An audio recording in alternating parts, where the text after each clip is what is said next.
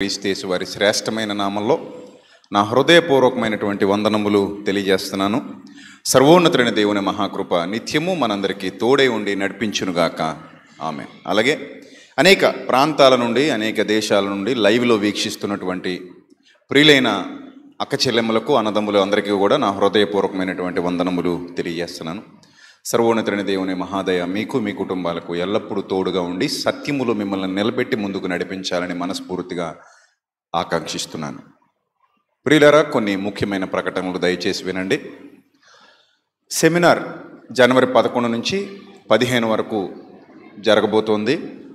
So కనుక ప్రతి ఒక్కరూ మీ కుటుంబ ప్రార్థనల్లో ఆ యొక్క సెమినార్ నిమిత్తం మీ అందరూ జ్ఞాపకం చేసుకోవాలని అందరినీ ప్రేమపూర్వకంగా కోరుతున్నాను. ఇది చాలా భారభరితమైన కార్యక్రమం కనుక అనేక మందికి దీవెనకరంగా ముఖ్యంగా దేవుని నామానికి మహిమకరంగా ఇది జరుగునట్లు మీ అందరూ మీ యొక్క మీ వంతు సహకారాన్ని ఆ దేవుని కార్యక్రమానికి మీ ఇష్టమైతే అందించాల్సిందిగా సంఘం అంతటికి ప్రేమపూర్వకంగా తెలియజేయడం జరుగుతుంది.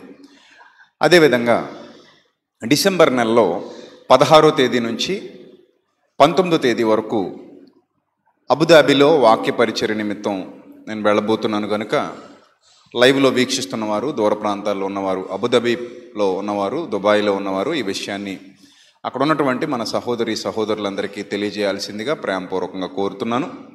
అదేవిధంగా ఇరవై మూడో తేదీ మరలా ఇక్కడి నుంచి నేను బయలుదేరి దోహా ఖత్తర్ వెళ్ళబోతున్నాను.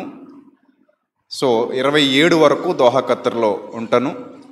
అక్కడ ఉన్నటువంటి ఆ దేశంలో ఉన్నటువంటి పిల్లలు ఎవరైతే ఉన్నారో వారు లైవ్లో వీక్షిస్తున్నవారు ఈ విషయాన్ని పిల్లలకు తెలియజేయవలసిందిగా అక్కడ ఉన్న వారిని అక్కడ ఉన్న వారికి సమాచారాన్ని అందించవలసిందిగా ప్రేమపూర్వకంగా తెలియజేస్తున్నాను. దోహా ఖత్తర్ ఇంకా వీసా ఇంకా రాలేదు. సో దాని నిమిత్తం కూడా వారు ప్రార్థించమని కోరారు. అక్కడ ఉన్నటువంటి తేజోమయ మినిస్ట్రీస్ వారు సహోదరులు. సో ఆ వీసా నిమిత్తం కూడా మీ అనుదిన ప్రార్థనలో జ్ఞాపకం చేసుకోండి. ప్రభుచితమైతే పదహారో తేదీ అబుదాబిలో అలాగే ఇరవై మూడో తేదీ ఆ దోహా ఖత్తర్లో ఈ రెండు దేశాల్లో వాడబడబోతున్నాం కనుక దేవుని వాక్యాన్ని వినిపించడానికి వెళ్తున్నాం కనుక ప్రార్థించండి. రైట్? ఒక విలువైన సందేశాన్ని ఈరోజు మనం వినబోతున్నాం. శ్రద్ధాశక్తులతో భయభక్తులతో దేవుని వాక్యాన్ని మీరు ధ్యానించండి. ప్రతి ఒక్కరూ మీ మీ పరిచయస్తులకు ఈ వాక్యాన్ని చేరవేయండి. ఈ లింక్ ఈ యూట్యూబ్ లింక్ చేరవేయండి. తద్వారా వారు కూడా విలువైన సమాచారాన్ని వినటానికి మీరు ఉపయోగపడిన వారు అవుతారు. రైట్? రైట్. ప్రార్థన చేసుకుందాం. అందరూ కూడా తలలు వంచి ప్రార్థనలో ఏకీభవించండి. ప్రార్థిద్దాం. సర్వకృపానిధి కనికరం కలిగినటువంటి మా కన్న తండ్రి దయగలిగిన మా దేవ ప్రభా మీ మాటలలోని మాధుర్యాన్ని రుచి చూసి మీరు ఉత్తములన్న సత్యాన్ని తెలుసుకొని మీ కొరకు ఉన్నతంగా బ్రతకటానికి సంఘముగా మమ్మల్ని అందరినీ సమకూర్చి మీ కుమారుడైన క్రీస్తును మా అందరికీ శిరస్సుగా అనుగ్రహించి బలమైన పరిచర్య మా ద్వారా జరిగించుకున్నటకు మీరు మాకు చేస్తున్న చేసిన ఉపకారముల నిమిత్తం మేలుల నిమిత్తం హృదయపూర్వకంగా మీ సన్నిధిలో కృతజ్ఞతాస్థుతులు చెల్లిస్తూ ఉన్నాను తండ్రి. మమ్మల్ని బలపరచండి మీ కృపలో భద్రపరచండి జ్ఞానం ఇవ్వండి వివేకం ఇవ్వండి. మీ సన్నిధి కాంతి ప్రకాశింపచేసి మా అందరినీ మీ సన్నిధి కాంతిలో నడిపించమని. ఎక్కడెక్కడైతే మీ సత్యవాక్య పరిచర్య జరుగుతోందో ప్రతి ప్రాంతంలో ప్రభు మీ ఆత్మ సహాయమును అనుగ్రహించి పిల్లలందరినీ బలపరిచి స్థిరపరిచి. ఈరోజు ఈ వాక్యాన్ని వింటున్నటువంటి ప్రత్యక్షంగా పరోక్షంగా ఈ వాక్యాన్ని వీక్షిస్తున్నటువంటి పిల్లలందరి జీవితాలలో వెలుగులు నింపి ప్రతి కుటుంబాన్ని దీవించి ఆశీర్వదించమని. ఘనత మహిమ ప్రభావములు మీకు చెల్లిస్తూ మీ దీనదాసునిగా మీ ఆత్మ సహాయమును అర్థిస్తూ ఏసుక్రీస్తు వారి శ్రేష్టమైన అతి పవిత్రమైన నామంలో ఈ ప్రార్థన మనవులు అడిగి వేడుకొనుచున్నాం మా కన్న తండ్రి. ఆమె ప్రియమైన దేవుని పిల్లలారా ఇవ్వడం అనేది దేవుడు ఆయన స్వరూపంలో ఆయన పోలికలో మనల్ని చేసుకున్న దగ్గర నుంచి దేవుడు మనకి ఇన్బిల్ట్గా అంటే మన హృదయాంతరంగాలలో ఏర్పాటు చేసినటువంటి ఒక లక్షణం అని మనందరం గుర్తించాలి. ఇవ్వడం గివింగ్ అనేది it's a divine thing giving is a divine thing ఆ డివైన్ థింగ్ అంటే ఆ దైవ లక్షణాన్ని మనం నేర్చుకున్నాం. ఇవ్వడం అనేది ఎవరి లక్షణం? దైవ లక్షణం. ఎందుకు ఇవ్వడం అనేది దైవ లక్షణం అని నేను చెప్తున్నానంటే దేవుడు మనం అడగక మునుపే ఏమేమి ఇచ్చాడో మీరు చెప్పగలరా? ఏమేమి ఇచ్చాడో మీరు చెప్పగలరా? మనం అడగక మునుపే దేవుడు ఈ ప్రకృతిని అంతటినీ మన కోసం చేసి ఇచ్చాడు అవునా? ఎస్ మనం అడగక మునుపే మనకు ఒక అందమైన ఆకారాన్ని ఇచ్చాడు. మనం అడగక మునుపే మన కోసం నిత్యము పనిచేసే ఒక నెట్వర్క్ ఏర్పాటు చేశాడు. సూర్యుడు కానీ చంద్రుడు కానీ నక్షత్రాలు కానీ ఇవన్నీ కూడా నిత్యము పనిచేసేటువంటి నెట్వర్క్ అలాగే భూమి పండటం కానివ్వండి నీరు సమృద్ధిగా లభించటం కానివ్వండి ఇన్ ద సేమ్ వే ప్రాణవాయువు మన చుట్టూ ఉంది ప్రాణవాయువు. ఆ ప్రాణవాయువు పీల్చుకోవడం ద్వారానే మనం ఆరోగ్యంగా ఉన్నాం ఆనందంగా ఉన్నాం. సో ఈ ప్రాణవాయువు కానివ్వండి ఇవన్నీ కూడా డివైన్ థింగ్స్ అంటే గివింగ్ ఇవ్వడం. ఎవరిస్తున్నారు అంటే దేవుడిస్తున్నాడు. ఇది మనం నమ్ముతున్నాం బలంగా నమ్ముతున్నాం. దేవుడు సమస్తాన్ని మనకి ఇస్తున్నాడు అందుకే భూమి నాదే ఆకాశము నాదే దాని సర్వ పరిపూర్ణత నావే. అవన్నీ నావే. ఎస్ మనం ఒప్పుకుంటాం దానికి. అవును ప్రభా సమస్తము నీదే. సమస్తము నీదే. దావిది కూడా అదే అంటాడు. ప్రభా నీదే నీకు ఇస్తున్నాను. సమస్తము నీదే. నీవు లేకుండా నాకు వచ్చిందంటూ ఏమీ లేదు. ప్రాణంతో సహా జన్మతో సహా దేహంతో సహా.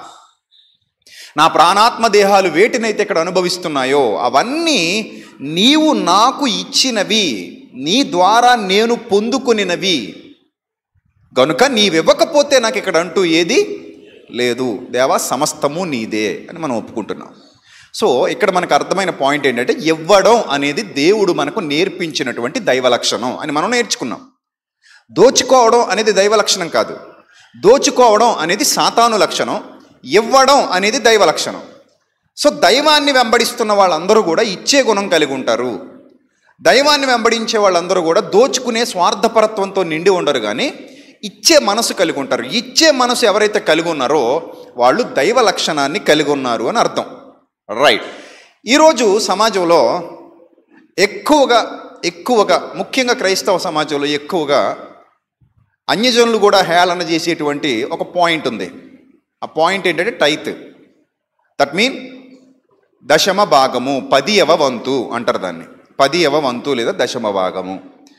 ఎక్కువ శాతం మంది క్రైస్తవులైతే ఈరోజున్న క్రైస్తవులైతే పవిత్రంగా తమ సంపాదనలో పదియవ వంతు తీసి సంఘాలకు ఇస్తున్నారు.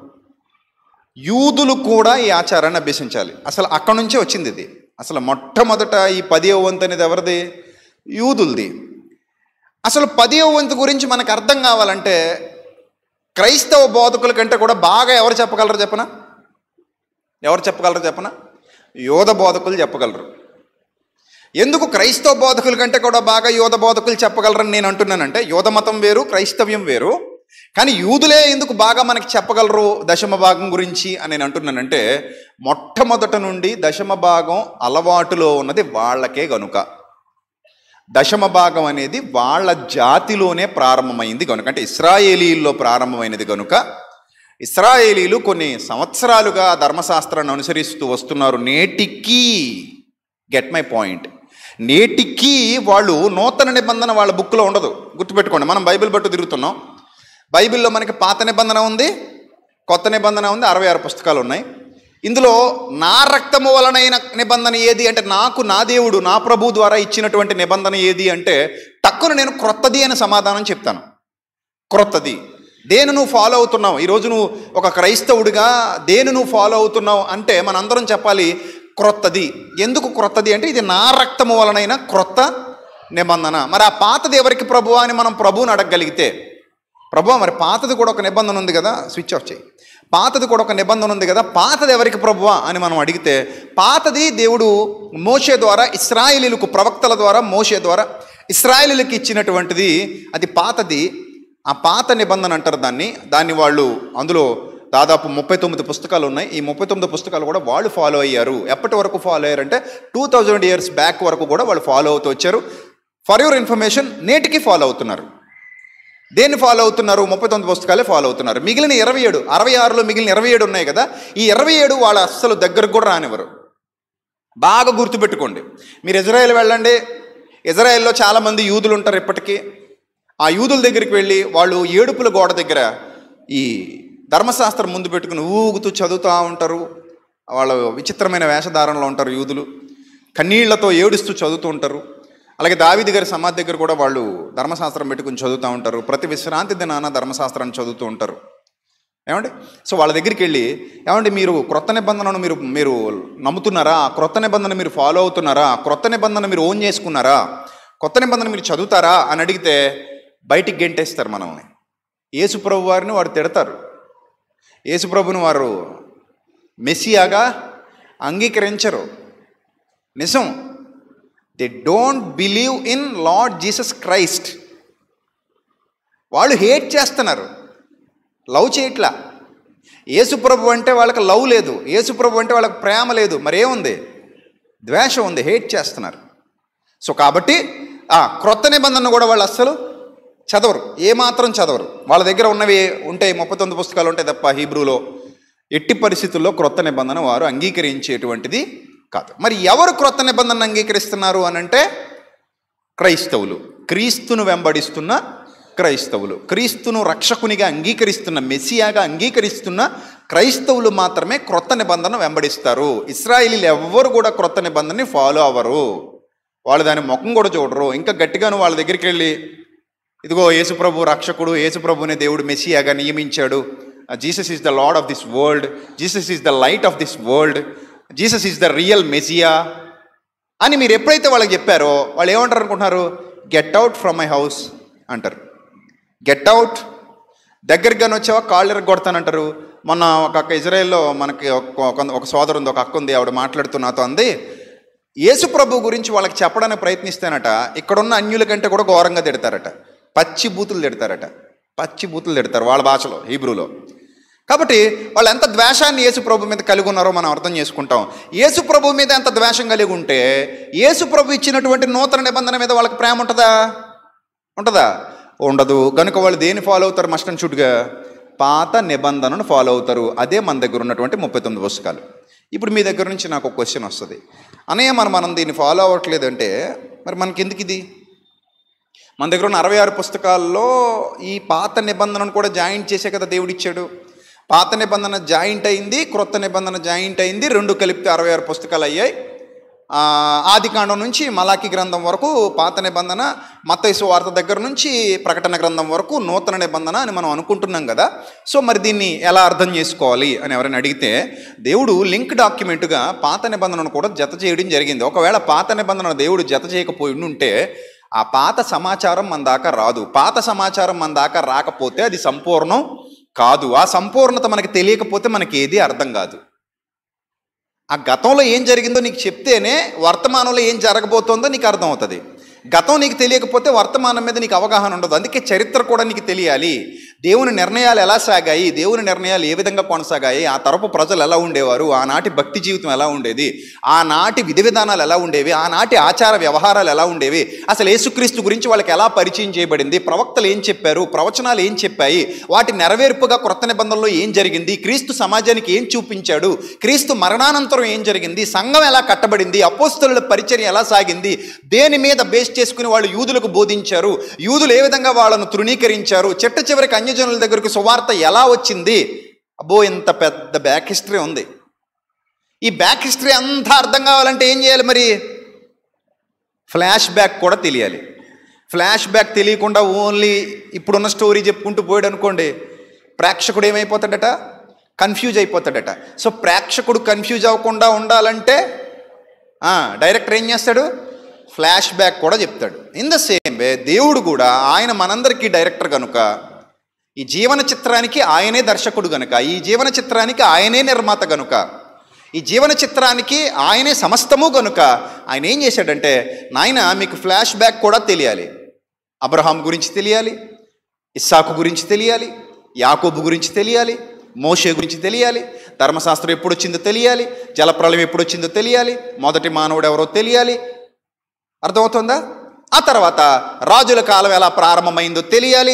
మొట్టమొదటి రాజు ఎవరో తెలియాలి తర్వాత రాజు ఎవరో తెలియాలి వాళ్ళకి చేయబడిన ప్రవచనాలు ఏంటో తెలియాలి వాళ్ళకి ఇవ్వబడినటువంటి వాగ్దానాలు ఏంటో తెలియాలి ఆ వాగ్దానాలను బేస్ చేసుకునే ప్రవక్తలు ఏం రాస్తూ వచ్చారో తెలియాలి ఇదంతా ఎక్కడ జరిగిందో తెలియాలి ఎలా జరిగిందో తెలియాలి మొట్టమొదట సువార్త ఏ విధంగా అన్యజనుల దగ్గరకు వచ్చిందో కూడా మీకు తెలియాలి. ఇవన్నీ తెలియాలంటే పాత నిబంధన క్రొత్త నిబంధనతో కనెక్ట్ అయి ఉండాలి. ఒకవేళ పాత నిబంధన కొత్త నిబంధనతో కనెక్ట్ అయి ఉండకపోతే ఇవేవి నాకు నీకు అలా కాదు ప్రభా మరి పాత నిబంధన మేము ఫాలో అవ్వట్లేదు కదా మేము బలులు ఇవ్వట్లేదు కదా. ఆ రోజుల్లో బలులు ఉండేవి మేము ఇవ్వట్లేదు కదా. దాన్ని మేము ఫాలో అవ్వట్లేదు కదా మాకు ఎందుకు ఇచ్చావంటే నీకు తెలియాలి. నువ్వు బలులు ఇవ్వవు నువ్వు కోళ్ళను మేకల్ని ఎద్దుల్ని గొర్రెల్ని బలులు ఇవ్వవు నీకు బలిపీఠాలు లేవు రక్తం చిందించే పన్నీకి లేదు. వాళ్ళు చెయ్యాలి.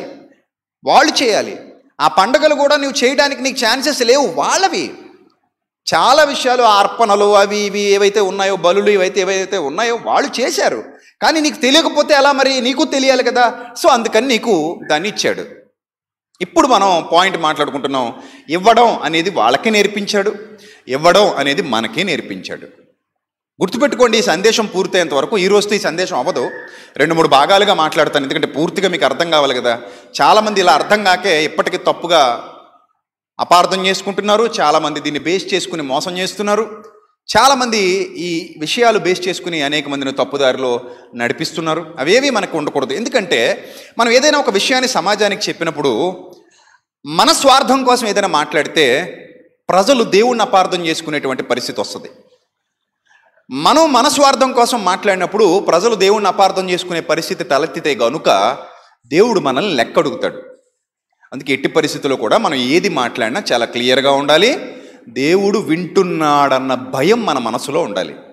మనస్వార్థం కోసం ఒక్క మాట ఒక్క మాట నీ నోటి వెంట జాలువారినా ధనాపేక్షను పెట్టే వేషాన్ని వినియోగించి ఒక్క ఒక్క తప్పు బోధ నీ పెదాల నుంచి బయటకు వచ్చినా ఈరోజు నీ హ్యాపీ లైఫ్ బాగానే సాగిపోవచ్చు ఎంజాయ్ చేస్తూ నీ జీవితాన్ని గడిపేయచ్చేమో కానీ ఒకానొక దినాన దేవుడు లెక్కడిగితే సమాధానం చెప్పగలిగే గడ్స్ నీ దగ్గర ఉండాలి.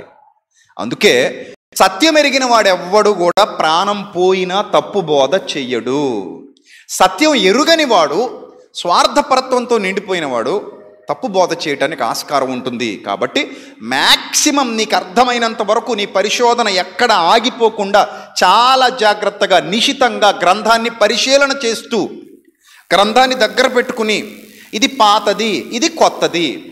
పాతదెందుకు కొత్తదెందుకు? పాత దానిలో ఏ విషయాలు ఉన్నాయి కొత్త దానిలో ఏ విషయాలు ఉన్నాయి పాతది ఏ కాలంలో స్టార్ట్ అయింది? ఎప్పుడు ఎండ్ అయింది? కొత్తది ఏ కాలంలో స్టార్ట్ అయింది? ఎలాంటి మార్పులు సంభవించాయి? ఎలా కంటిన్యూ అవుతుంది? ఆ కాలమాన పరిస్థితులు ఈ కాలమాన పరిస్థితులు ఏంటి? అసలు నేను ఏం చేయాలి? ఏం నేర్చుకోవాలి? ఇన్ని ప్రశ్నలు నీ మెదడులో తలెత్తితే చక్కగా నీకు బైబిల్ అర్థం అవుతుంది ఒకవేళ ప్రశ్నలు తలెత్తినా నీకు అర్థం కాకపోతే ఇలాంటి ప్రశ్నలతోనే గ్రంథాన్ని ధ్యానించినటువంటి బోధకుడు మీకు దొరికితే అప్పుడు మీకు ఇంకా ఈజీగా బైబిల్ ఏమవుతుంది? అర్థం అవుతుంది ఎందుకంటే బోధకుడు అంటే మనల్ని మనకు భోజనం పెట్టేవాడు వాక్యాహారాన్ని పెట్టేవాడు. అమ్మతో సమానం నాన్నతో సమానం అంటాను అందుకే నేను.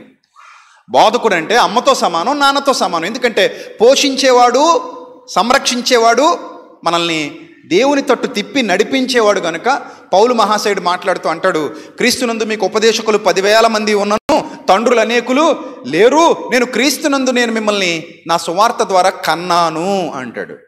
సో కాబట్టి మంచి భోజనం పెడితే తల్లి బిడ్డ ఎలాగైతే వృద్ధి పొందుతాడో మంచి ఆహారం పెడితే బోధకుడు సంఘం కూడా ఏమవుతుంది? వృద్ధి పొందుతుంది. ఫస్టే మీకు ఒక పాయింట్ నాటాను. అదేంటంటే ఇవ్వడం అనేది ఇట్స్ ఎ డివైన్ థింగ్ గుర్తుపెట్టుకోండి. ఇవ్వడం అనేది ఎవరి ఎవరి లక్షణం? ఇవ్వడం అనేది ఎవరి లక్షణం? దైవ లక్షణం. ఆ దైవ లక్షణం నేటికి కొనసాగుతోంది గనుకనే మనం బతుకుతున్నాం. ఒప్పుకుంటారు ఒప్పుకోరా? చెప్పండి ఒప్పుకుంటారు ఒప్పుకోరా? ఒప్పుకోవాలి ఒప్పుకోవాలి ఒప్పుకుని తీరాలి. ఆయన అన్నీ మనకి ఎలా ఇచ్చాడు అంటే ఉచితంగా ఇచ్చాడు. అంత మాత్రమేనా? ప్రభువా నేను పాపం చేశా. ఏంటి నా పరిస్థితి?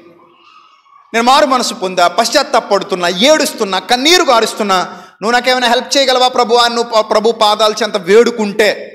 ప్రభు ఏం చేశాడు అనుకుంటున్నావు? తన కుమారుడైన క్రీస్తుని లోకానికి పంపించి ఆయన ద్వారా నీకు రక్షణ ఇచ్చాడు పాపక్షమాపణ ఇచ్చాడు కరుణ ఇచ్చాడు ఇచ్చాడు సమస్తము నీ పాదాలు చెంతుంచాడు నిత్య జీవాన్ని నీకు నాకు వాగ్దానం చేశాడు. ఆయన సింహాసనం మీద నిన్ను కూర్చోబెట్టుకుంటానన్న గొప్ప మాట ఇచ్చాడు అని ఇచ్చాడు ఇచ్చాడు ఇచ్చాడు ఇచ్చాడు.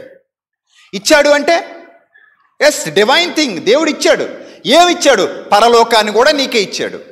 దేవదూతలకు తీర్పు తీర్చే అధికారం కూడా నీకే ఇచ్చాడు. దేవదూతల మీద ఆధిక్యత కూడా నీకే ఇచ్చాడు. తన కుమారుడైన క్రీస్తును కూడా నీ కోసం ఇచ్చేశాడు. నిన్ను క్షమించడానికి ఏమాత్రం వెనకాడక కృపను ధారాళంగా ఇచ్చాడు. ఏది నీకు ఇవ్వకుండా ఆయన లోడ్ చేయలే. ఒక మాట చెప్పనా? మనకు భౌతికంగా ఉన్నవే అర్థమవుతున్నాయి. ఆత్మీయంగా ఉన్నవి అర్థం కావట్లా. భౌతికంగా ఉన్నవి కంటే ఉన్న వాటి కంటే కూడా ఆత్మీయంగా ఇచ్చినవి ఇంకా గొప్పవి. భౌతికమైనవి చాలా చిన్నవి. ఇక్కడ అరవై ఏళ్ళు ఉంటాం డెబ్బై ఏళ్ళు ఉంటాం. ఎన్ని కోట్లు ఉన్నా అక్కడ వదిలేసిపోతాం. ఏది పట్టుకెళ్ళం. ఏది పట్టికలో మనకు తెలుసు సెలబ్రిటీల మరణాలు? సెలబ్రిటీల మరణాలు జరుగుతున్నాయి. ఎంతోమంది గొప్పవాళ్ళు పెద్దవాళ్ళు చాలామంది పేరెన్నిక కన్నవాళ్ళు చచ్చిపోతున్నారు. వాళ్ళకి ఎంతో కోట్లు ఉన్నాయి ఎన్నో కోట్ల ఆస్తులు ఉన్నాయి ఎంతో గొప్ప పలుకుబడి ఉంది పేరుంది కానీ ఒక్క రూపాయి వారి వెంట తీసుకెళ్ళట్లేదు. వట్టి చేతులతో వచ్చారు. వట్టి చేతులతోనే ఈ లోకాన్ని విడిచిపెట్టి వెళ్ళిపోతున్నారు. వెళ్ళేటప్పుడు ఘనంగా సాగనంపొచ్చు. సాగనంపొచ్చుగాక కానీ ఏం ఉపయోగం? నిన్ను నన్ను ఎలా సాగనంపి మట్టికిచ్చారో వాళ్ళనంక కొంత కొంత ఘనంగా సాగనంపి మట్టికిచ్చినా మట్టికి ఇవ్వడం అనేది కామన్ పాయింట్ ఇక్కడ. మనం ఎలా వెళ్ళామనేది మనకి తెలీదు. మనం ఎలా వెళ్ళామనేది వాళ్ళకి తెలీదు మనకి తెలీదు కానీ మట్టికి వెళ్తాం అన్నది అక్కడ అందరూ సమానమే అన్నది పైన మనం ఎలా నడిచినా లోపల అందరూ సమానమే.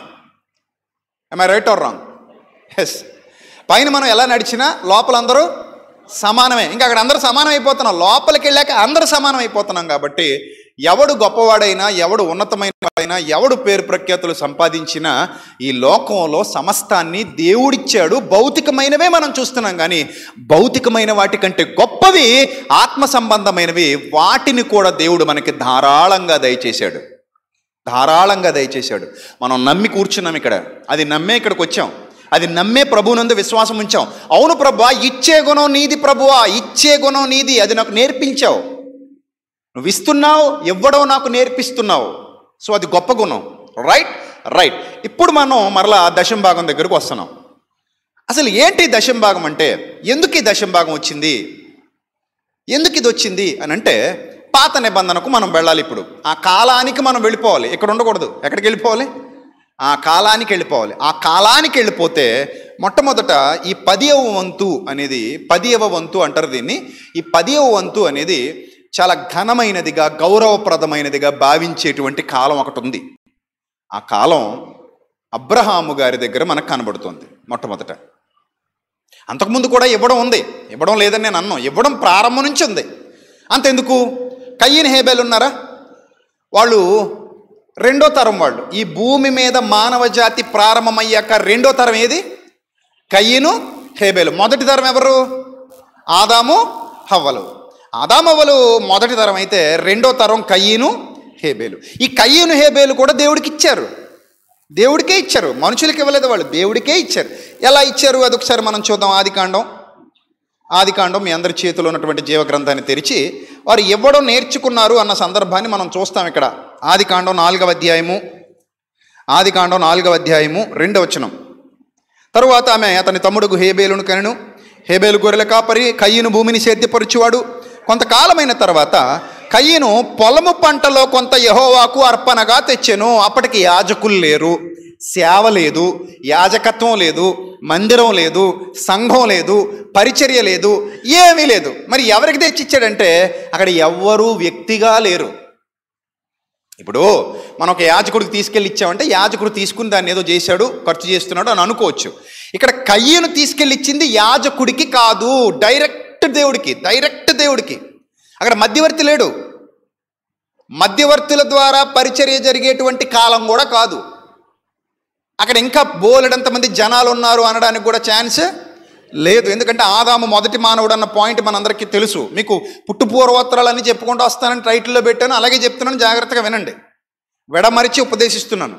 కాబట్టి ప్రతి పాయింట్ మీరు ఇగ్నోర్ చేయకుండా మస్ట్ అండ్ షుడ్గా కాన్సన్ట్రేట్ చేసి మీ హృదయం అనే పలకల మీద వాటిని రాసుకుంటే యూ విల్ గెయిన్ ఒకవేళ అలా కాకుండా ఏదో అలా వినేస్తే దానివల్ల మీకు ప్రయోజనం ఉండదు. కాబట్టి చాలా జాగ్రత్తగా వినండి. రైట్ రైట్ ఇప్పుడు వాళ్ళు మధ్యవర్తులు ఎవరు లేరు? అక్కడ సంఘం లేదు దేవాలయం లేదు పరిచర్య లేదు ఏమీ లేదు. కానీ భూమి పంట వచ్చిందట.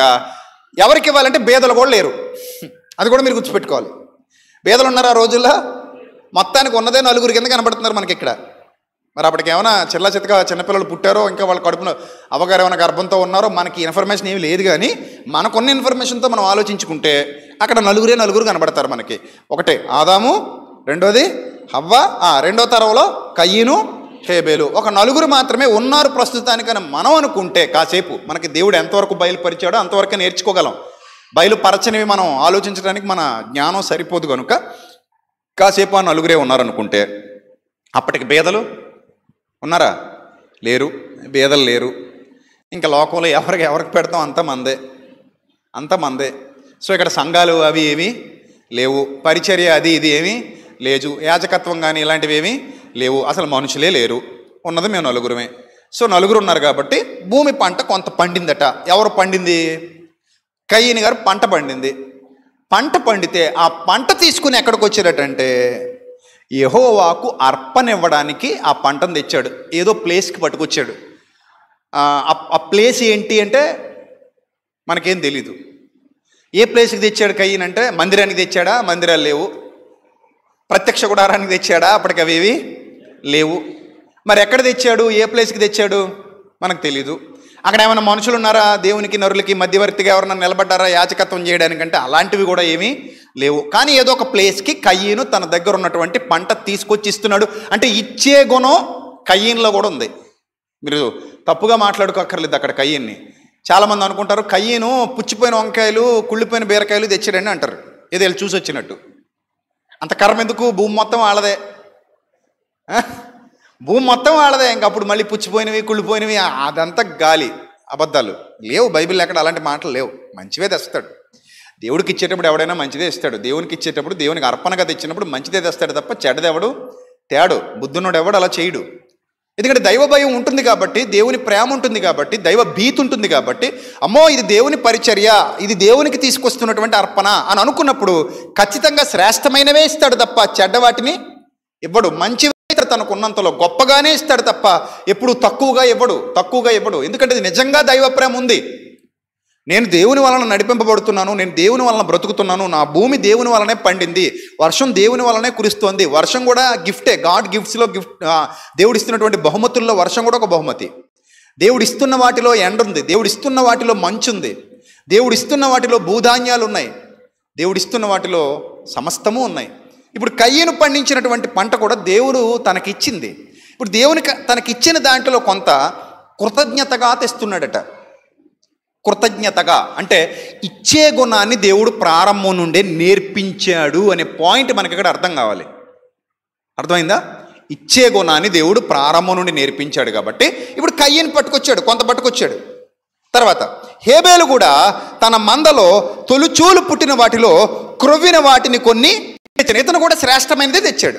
తన మందలో తొలిచూలు అన్నాడు అక్కడ. తొలిచూలు ఎప్పుడు కూడా బలంగా ఉంటుంది. అంతేనా? తొలిచూలు ఎలా ఉంటుంది? బలంగా ఉంటుంది. ఫస్ట్ ప్రోడక్ట్ మనుషులైనా అంతే. మనుషుల్లో కూడా ఫస్ట్ ప్రోడక్ట్ ఎలా ఉంటుంది? బలంగా ఉంటుంది. సెకండ్ ప్రోడక్ట్ కొంచెం వీక్ థర్డ్ ప్రోడక్ట్ ఇంకొంచెం వీక్ ఆ కనే తల్లి కూడా వీక్ అవుద్ది. ఫస్ట్ బిడ్డను కన్నప్పుడు మీరు ఎలా ఉంటారు తల్లులారా? ఎలా ఉంటారు? స్ట్రాంగ్గా ఉంటారు. రెండో బిడ్డకు వచ్చేసరికి పర్సంటేజ్ ఏమవుద్ది? స్ట్రాంగ్ స్ట్రాంగెస్ట్ పర్సంటేజ్ ఏమవుద్ది? డౌన్ అవుతుంది. థర్డ్ వచ్చేసరికి మూడో కాన్పు. వీక్ అవుతారు. నాలుగో కాను పెట్టి చచ్చిపోతే చచ్చిపోవచ్చు. అన్నీ తగ్గిపోతాయి. కాల్షియం లెవెల్ తగ్గిపోద్ది ఎనర్జీ తగ్గిపోద్ది. లోపల ఉన్న విటమిన్స్ శాతం ఏమైపోద్ది? తగ్గిపోద్ది. ఎందుకంటే ఈ పక్కన ఆల్రెడీ ముగ్గురు పీడించుకు తింటా ఉంటారు.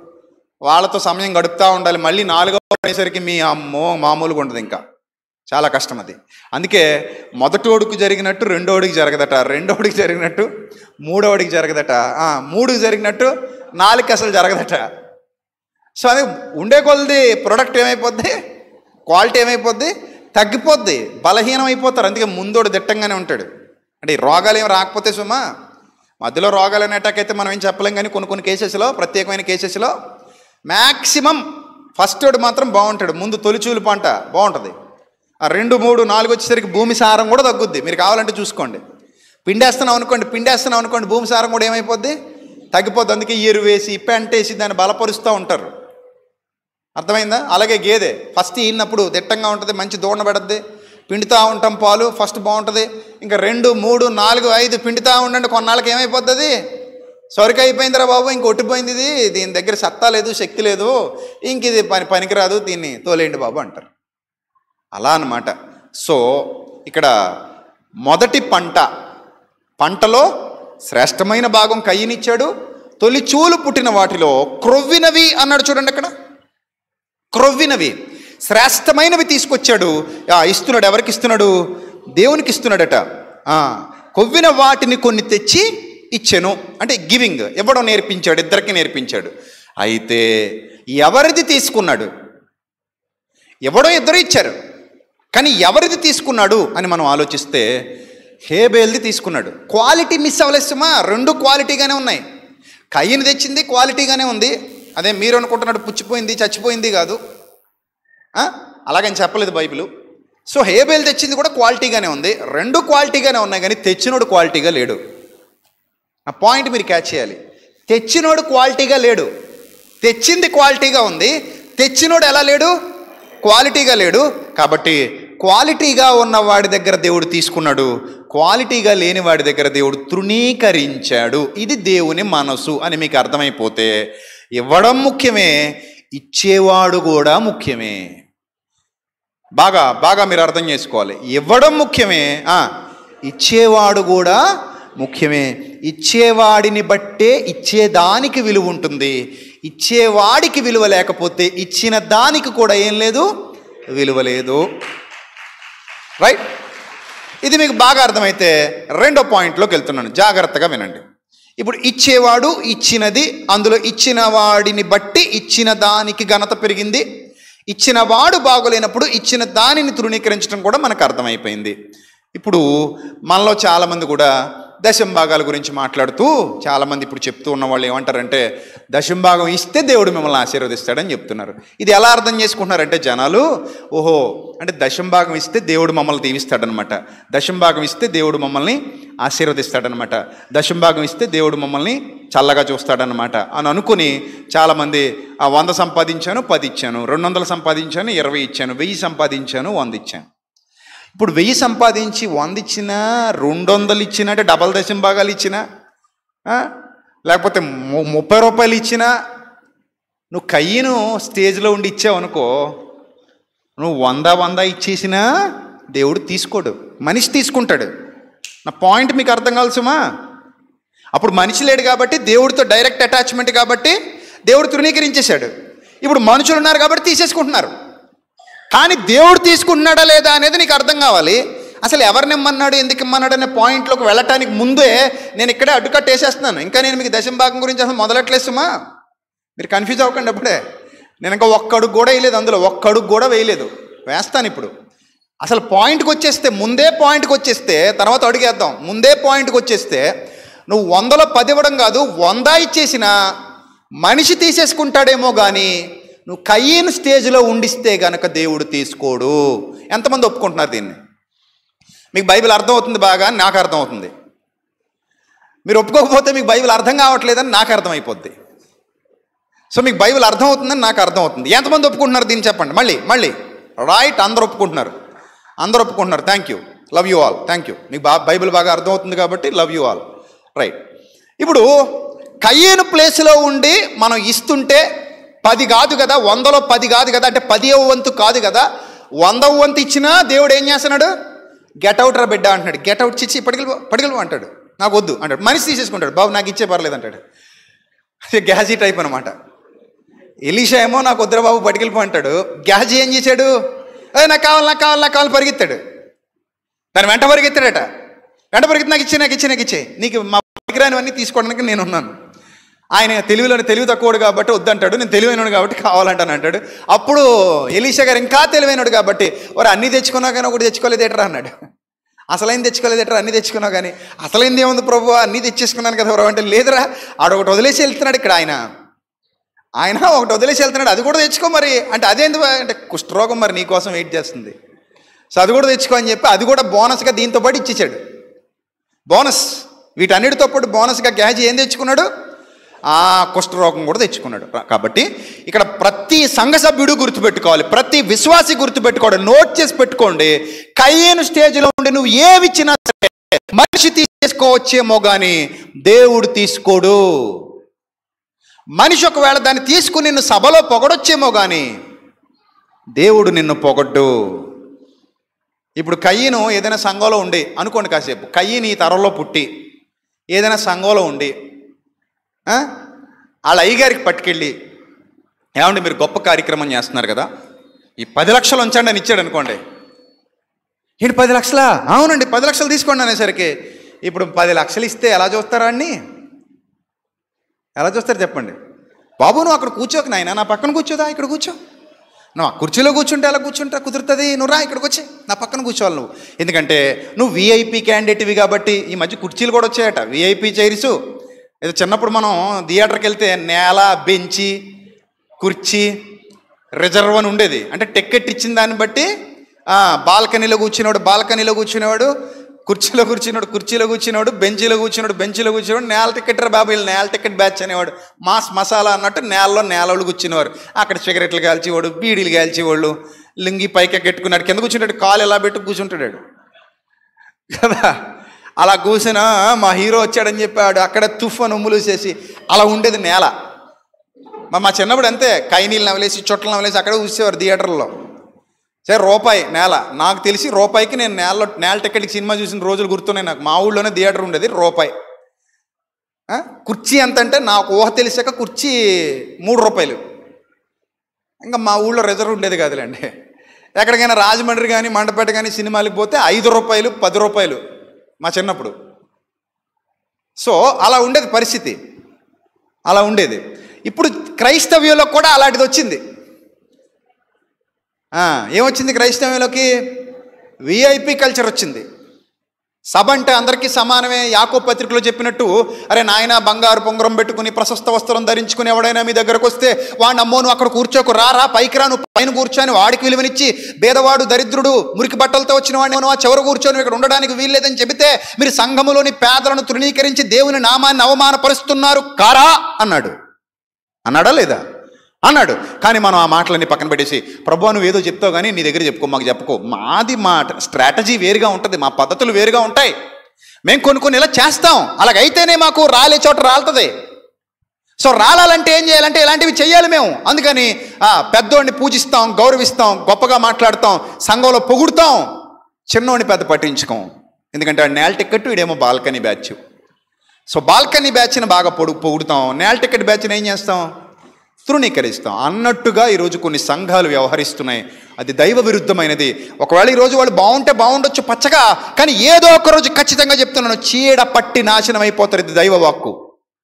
చీడ పట్టి నాశనం అయిపోతారు వాళ్ళు. ఎందుకంటే దేవునికి వ్యతిరేకంగా బ్రతికిన వాడు ఎవడు వర్ధిల్లినట్టుగా లేదు చరిత్రలో. భూమి మీద నువ్వు వర్ధిల్లితే వర్ధిల్లొచ్చుగాక కానీ మరణం పేరుతో నువ్వు ఆయన దగ్గరికే వెళ్ళి తీరాలిగాక. వీళ్ళు ఆయన ముందు నిలబడాలిగాక. ఆయన నీకు లెక్క అప్పగించేంత వరకు నిన్ను అడిగి తీర్పు తీర్చి నువ్వు వెళ్ళాల్సిన చోటకి నిన్ను పంపించేస్తాడు. రైట్ రైట్ ఇప్పుడు మనం పాయింట్కి వస్తే సో విఐపి బ్యాచ్ అనేది విఐపి బ్యాచ్లో కూర్చోబెట్టడం అనేది దేవుని సన్నిధిలో లేదు. అందరిని ఎలా చూస్తున్నాడు ఆయన? చెప్పండి ఎలా చూస్తున్నాడు? సమానంగా చూస్తున్నాడు. అందరికీ ఒకే విధమైన ఏర్పాటు ఆయన దగ్గర ఏర్పాటు తప్ప ఒకడు ఒకలాగా ఒకరిని ఒకలాగా చూసేటువంటి పక్షపాతి మన దేవుడు కాడు. ఆయన పక్షపాత హృదయముతో ఉన్నవాడు కాడు. కాబట్టి మనుషులు నీవు నువ్వు ఏమిచ్చినా తీసేసుకుని నేను పొగుడుతారు? అమ్మో పది లక్షలు ఇచ్చాడని నేను గొప్పోడని నీకు పెద్ద పెద్ద ఫ్లెక్సీలు కట్టేస్తారు. కానీ దేవుడు పది లక్షలు ఇచ్చిన నువ్వు కయ్యను ప్ర- స్థానంలో ఉండిస్తే కయ్యను లాంటి మనస్తత్వం కలిగిన వాడవై కలిగిన దానవై ఇస్తే దేవుడు నీ కానుకను ఏం చేస్తాడు? తిరస్కరిస్తాడు. ఇది ఒక పాయింట్ దేవుడు పనికిచ్చింది మాట్లాడుకున్నాం రెండో పాయింట్ కూడా మాట్లాడేస్తాను అయిపోద్ది. తర్వాత వెళ్దాం మనం అందులోకి వెళ్దాం. ఇంకా మనం మూడు వారాలు మాట్లాడుకుందాం అనుకుంటున్నాం కదా కంగారు ఏముంది కంగారు ఏమైనా ఉందా? ఏమి లేదు కదా? రైట్ రెండో పాయింట్ రెండో పాయింట్ ఏంటంటే బేదలకు ఇవ్వడం. రెండో పాయింట్ బేదలకు ఇవ్వడం. ఇచ్చే గుణం దైవ గుణం అని నేర్చుకున్నాం కదా ఒకటి దేవుని పరిచర్యకు సత్కార్యాలకు ఇవ్వడం నేర్చుకున్నాం. రెండోది బేదలకు ఇవ్వడం గురించి కూడా మాట్లాడుకుందాం. బేదలకు ఇవ్వడంలో ప్రపంచంలో చాలామంది బేదలకు ఇస్తున్నారు ఒక్క క్రైస్తవులే కాదు లేకపోతే యూదులే కాదు లేకపోతే హైందవులే కాదు బౌద్ధిస్టులే కాదు ముస్లిమ్సే కాదు జైనులే కాదు ఏ దేవుణ్ణి నమ్మని వారే కాదు ప్రపంచంలో చాలామంది బేదలను చూసి కనికరించి ఇచ్చేవాళ్ళు ఉన్నారు. అందులో కొంతమంది పబ్లిసిటీ కోసం ఇస్తారు కొంతమంది ప్రేమతో ఇస్తారు కొంతమంది ఇతరత్ర స్వార్థపూరిత ప్రయోజనాల కోసం ఇస్తారు. రకరకాలుగా ఇచ్చేవాళ్ళు ఉన్నారు. ఇవ్వడం అనేది అక్కడ మనకు కనబడుతుంది. అయితే కయ్యన ప్లేస్లో నువ్వు ఉండి వంద మంది బేదలకు భోజనం పెట్టావనుకో దేవుడు తీసుకుంటాడా?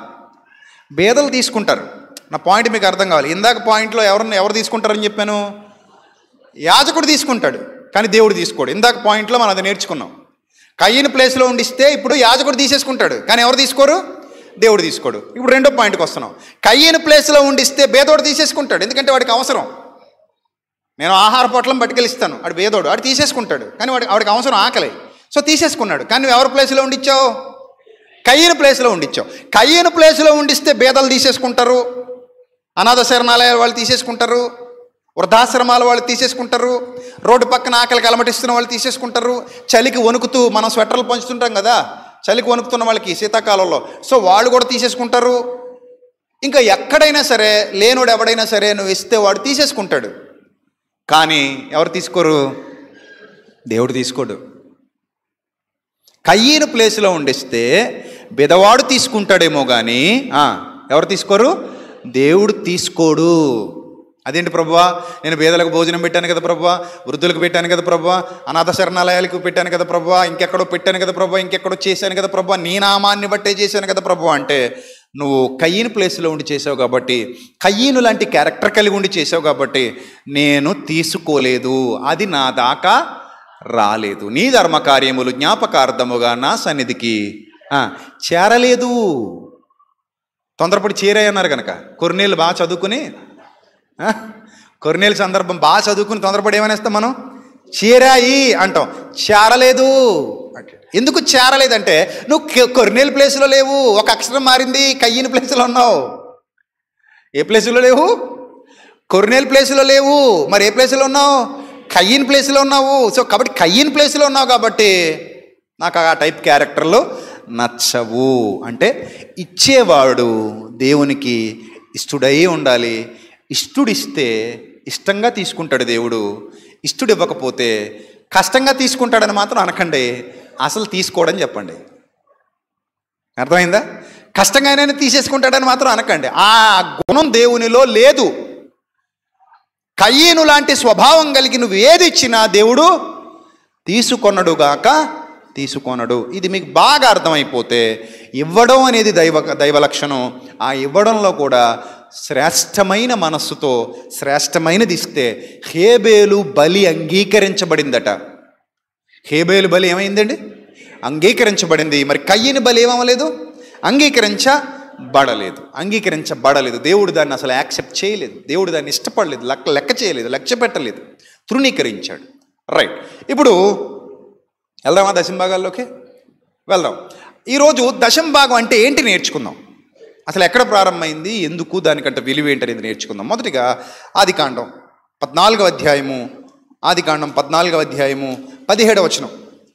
వచ్చే వారం కూడా తప్పకుండా వినాలి మీరు. ప్రభు చిత్తం అయితే మనందరం సజీవ లెక్కలో ఉంటే వచ్చే వారం కూడా విలువైన విషయాలు మనం నేర్చుకుందాం ఇదే అంశం మీద. రైట్? రైట్. ఆది కాండం పద్నాలుగో అధ్యాయము పదిహేడవ వచనం నుంచి చదువుదాం. అతడు కదరులో యామేరు.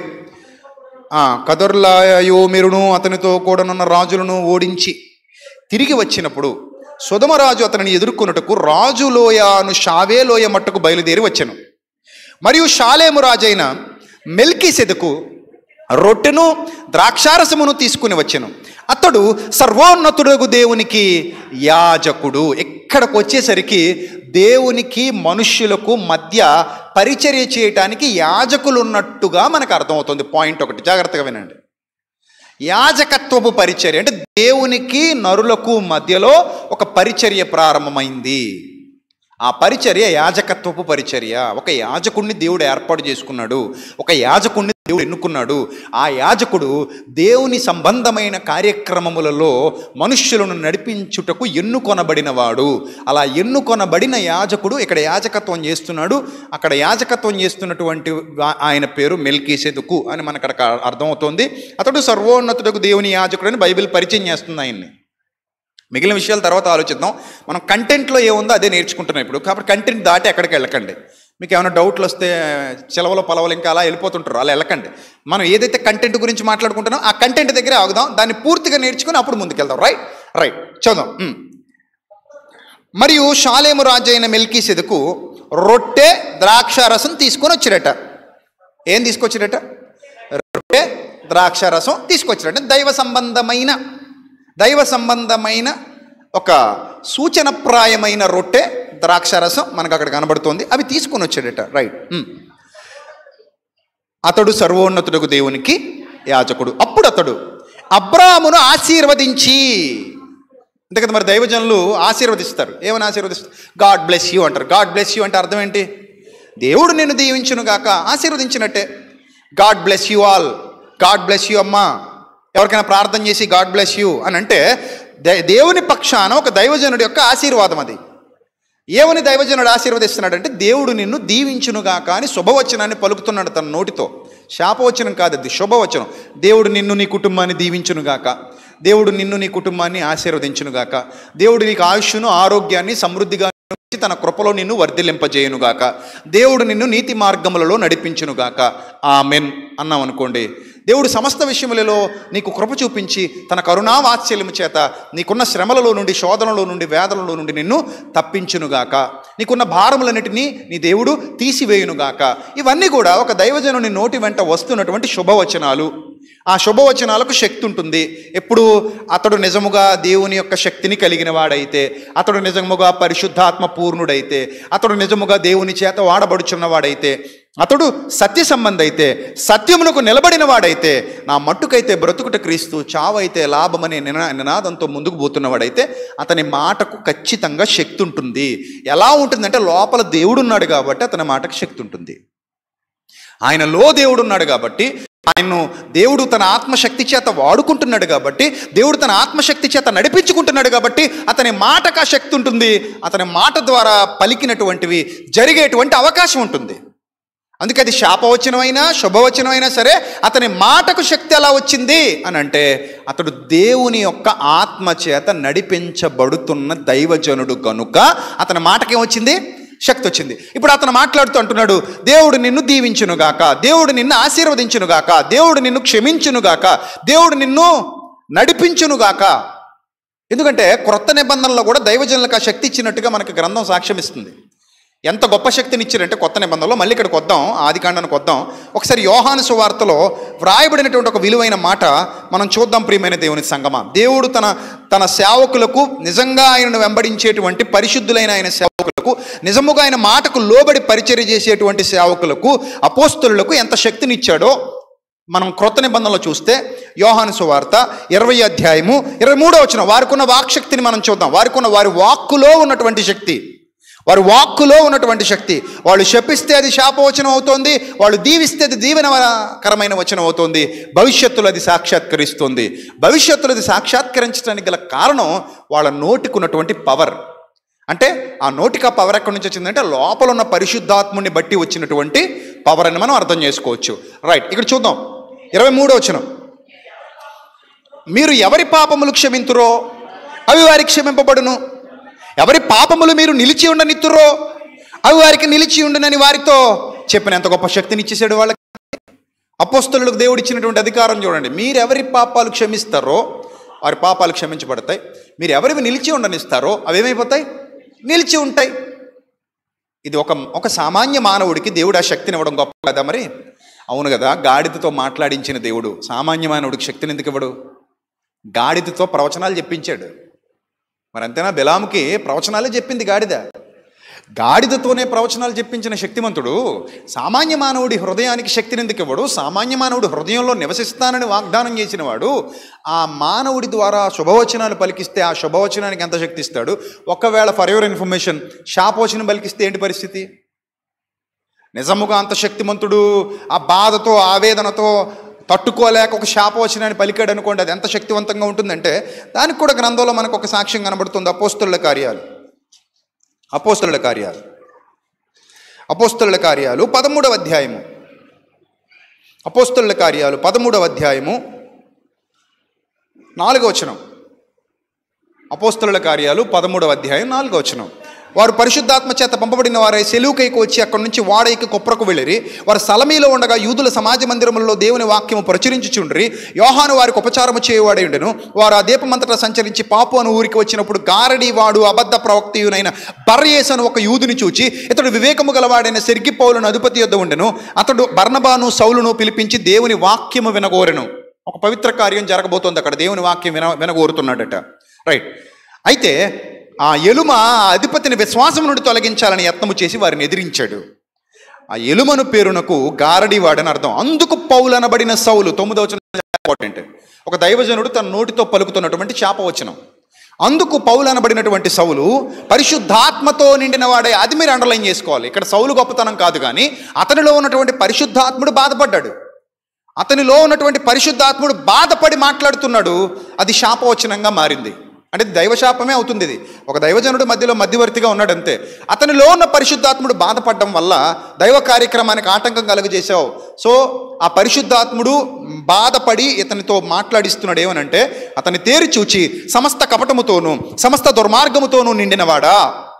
అపవాది కుమారుడా సమస్త నీతికి విరోధి. నీవు ప్రభు యొక్క తెన్నని మార్గములు చెడగొట్టుట మానవా? ఇదిగో ప్రభు తన చెయ్యి నీ మీద ఎత్తి ఉన్నాడు. నీవు కొంతకాలము గుడ్డివాడవై సూర్యుని చూడకుందువని చెప్పాను. వెంటనే మబ్బును చీకని కమ్మెను గనక అతడు తిరుగుచు ఎవరైనా చెయ్యి పట్టుకుని నడిపింతురా అని వెతుకుచుండెను.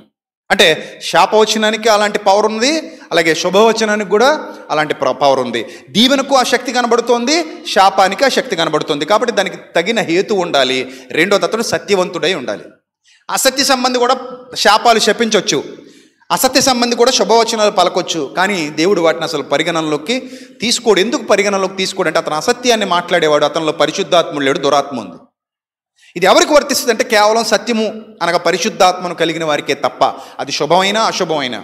అది దీవెనైనా శాపమైనా? పరిశుద్ధాత్మను కలిగిన వారికి తప్ప నటులకు వేషధారులకు ఆత్మ లేని వారికి దుర్నీతి సంబంధులకు అది ఎంత మాత్రం వర్తించనే వర్తించదు. ఈ విషయాన్ని కూడా మనం అందరం పరిగణనలోకి తీసుకోవాలి. రైట్ ఇప్పుడు మనం ఆదికాండానికి వెళ్ళిపోతున్నాం. ఈ ఆదికాండం పద్నాలుగు అధ్యాయంలో ఈ ఎవరైతే మెల్కి చదువుకున్నాడో అబ్రహాముని ఏం చేస్తున్నాడట? ఆశీర్వదించి చదవండి పద్నాలుగో అధ్యాయం.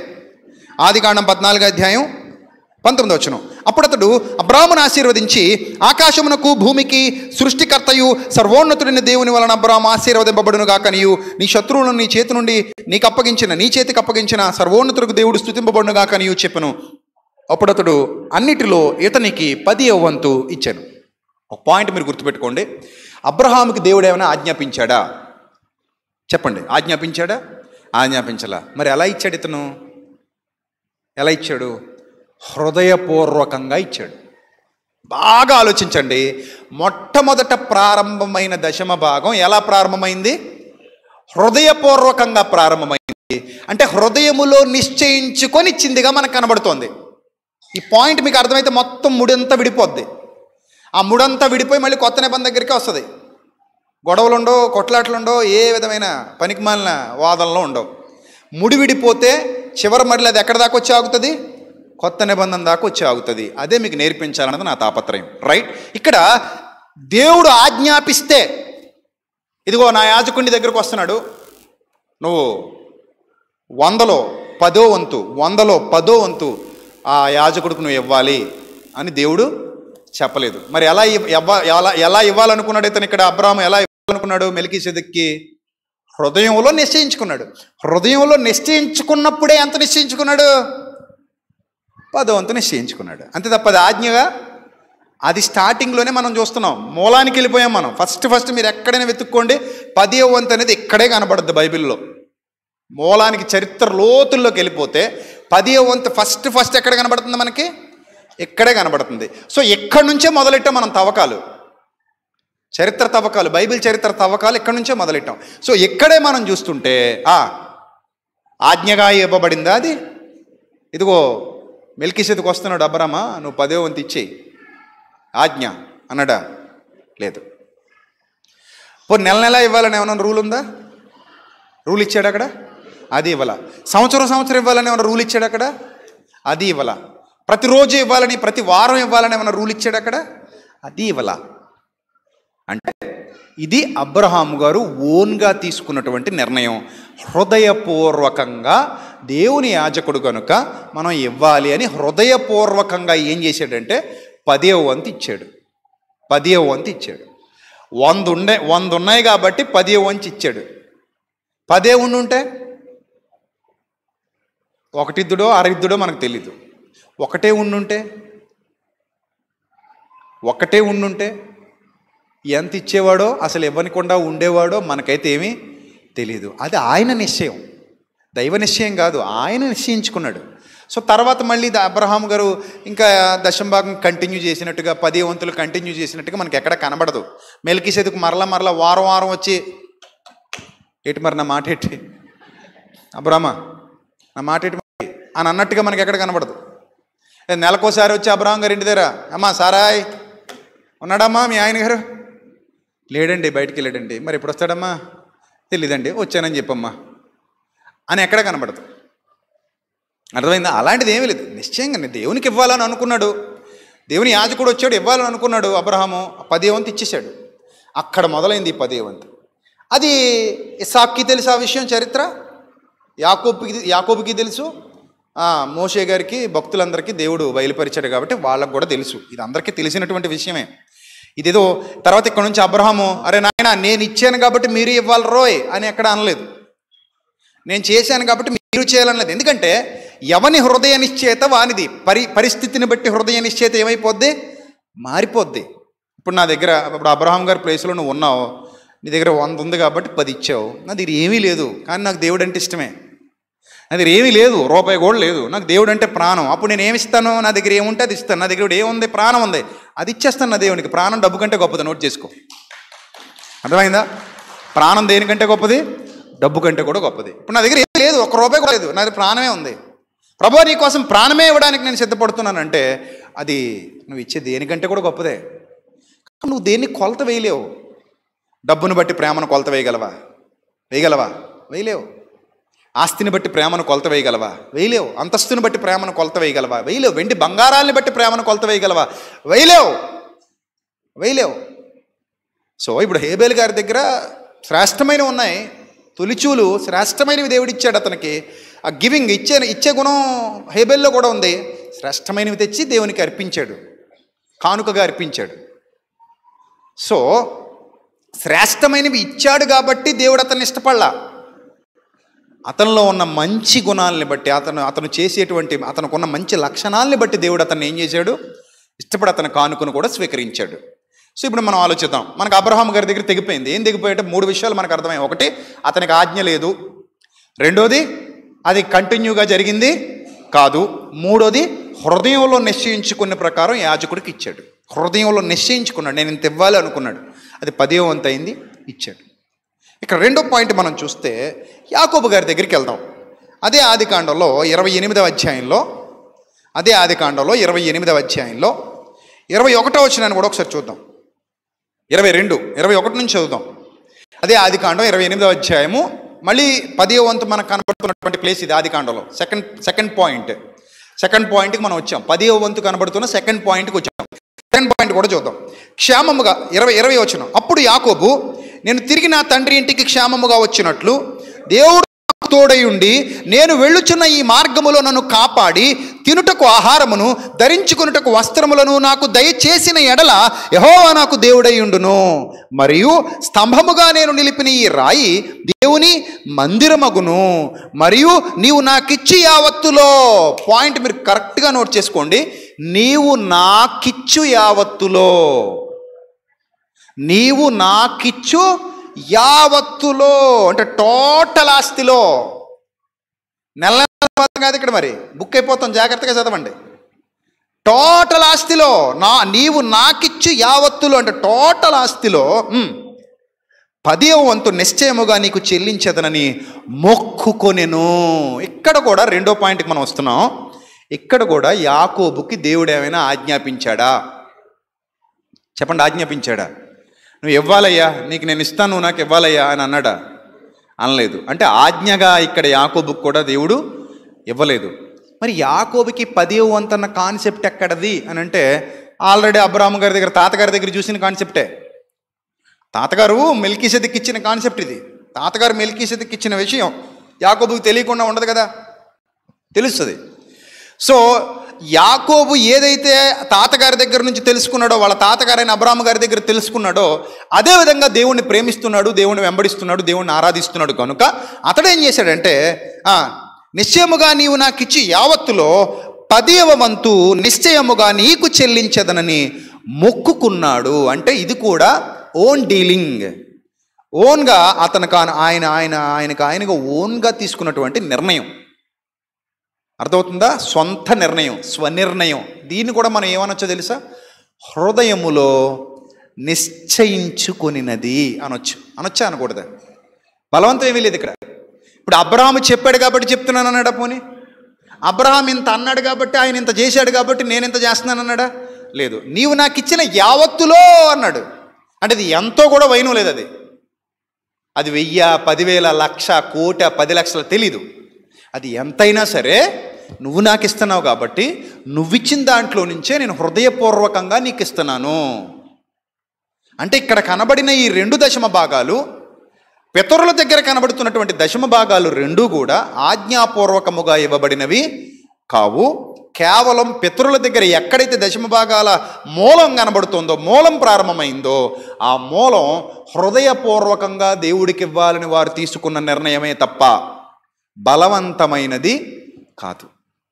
హృదయపూర్వకమైనది తప్ప బలవంతమైనది కాదు. కానీ దురదృష్టవశాత్తు ఈరోజు ఈరోజు క్రైస్తవ సమాజంలో ఏం జరుగుతుంది? హృదయపూర్వకముగా నిశ్చయించుకునే దానికి మారుగా ఏమొచ్చి కూర్చుంది? బలవంతం వచ్చి కూర్చుంది. నేను ముగించే ముందు పాయింట్ చెప్పి ముగిస్తాను. మీకు చాలా వరకు అర్థమైపోద్ది. మిగిలిన రెండు భాగాలు వచ్చే వారం మాట్లాడుకుందాం. తర్వాత వారం కూడా మాట్లాడుకుందాం ప్రభుచితం అయితే సో హృదయపూర్వకముగా ఇచ్చేది అనేది మాయమైపోయింది. మరి ఏం వచ్చి కూర్చుంది? బలవంతం వచ్చి కూర్చుంది. బలవంతం అనేది ఎక్కడ ఉంటుంది అని అంటే సేవలో ఉండదు. సేవలో బలవంతం అనేది ఉండదు. సేవ అని పేరు పెట్టుకున్నవాడు ఎవడైనా సరే బలవంతం చేసే అధికారం కలిగిన వాడు కాడు. ఒకవేళ బలవంతం చేసే అధికారం కలిగి ఉంటే సేవ అన్న పేరు తీసేయి. మరలా బలవంతం చేసే లక్షణం నీ దగ్గర ఉంటే సేవ అనే పేరు తీసేయి. అది సేవ అనబడదు అది. సేవ అనబడదు. ఎందుకంటే ఒక్కసారి క్రొత్త నిబంధనలో ఒక మాట చూద్దాం. కొరిందీలకు రాసిన రెండవ పత్రిక. కొరిందీలకు రాసిన రెండవ పత్రిక. మనం ఎంత చదివినా దేవుని వాక్యమే చదువుతున్నాం అది మర్చిపోకండి.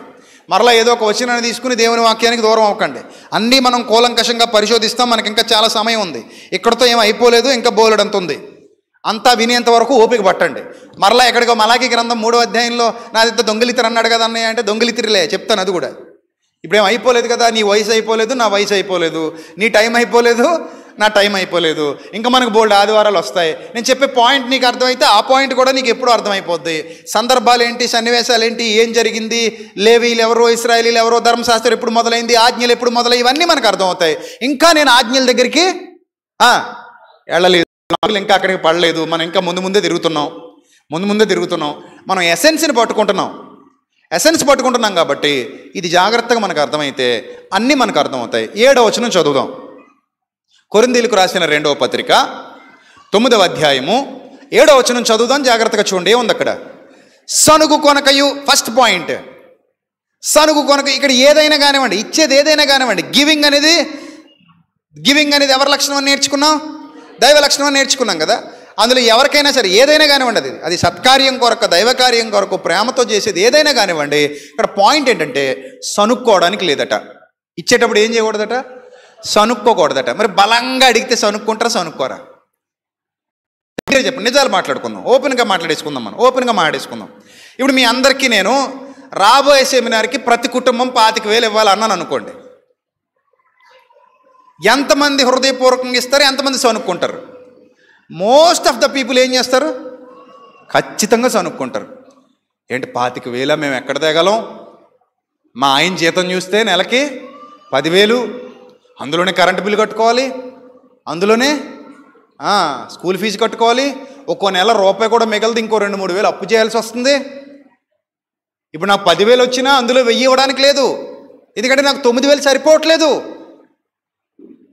ఇప్పుడు పదివేలు వచ్చింది. కాసేపు దశం భాగమే అనుకున్నా. నాకు సరిపోవట్లేదు ఆ ఇప్పుడు సరిపోవట్లేనప్పుడు నేను ఖచ్చితంగా నువ్వు వెయ్యి ఇచ్చేస్తా ఇస్తావా చేస్తావా అని పీకల మీద ఫైనాన్స్ వాళ్ళకి వచ్చి కూర్చుంటే ఏం చేయగలం? సో ప్రభు ఏంది ప్రభు ఇది? ప్రభు ప్లీజ్ ప్రభు అంటే ప్రభు ఇప్పుడు మనకు ఎలా కనబడుతున్నాడు? ఫ్లాష్ బ్యాక్లో చెక్కేలా ఎలా కనబడుతున్నాడు? ప్రభు ఎలా కనబడుతున్నాడు మనకి ఇప్పుడు? ఫ్లాష్ బ్యాక్లో జక్కేలాగా నన్ను పంపించాడు. ఇప్పుడు నేను ప్రభు దగ్గర జీతగాడిని అనమాట అయ్ దశమగవి అని అనొచ్చు ఎంత అంటే వెయ్యి రూపాయలు. ఈ నెల జీతం ఎంత? పదివేలు అండి. ఆ వెయ్యి రూపాయలు అంటే అలా కాదండి బాబు పిల్లల ఫీజులకు మూడు వేలు అయిపోయినాయండి. ఈ సంవత్సరం మళ్ళీ కొత్త పుస్తకాలు ఏవి ఇచ్చారండి? ట్యూషన్ ఫీజు అంటున్నారండి బస్సు ఫీజు అంటున్నారండి.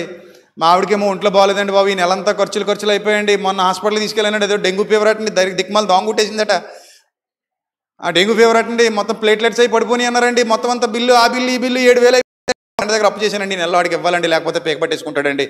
అలా కాదండి దేవుడికి ఒక మాట చెప్పండి ప్లీజ్ అండి ఈ నెలకు ఊరుకోమనండి. అస్సలు ఊరుకోలేదు లేదు దేవుడు అసలు ఒప్పుకోడు. ఇస్తావా చెత్తవా?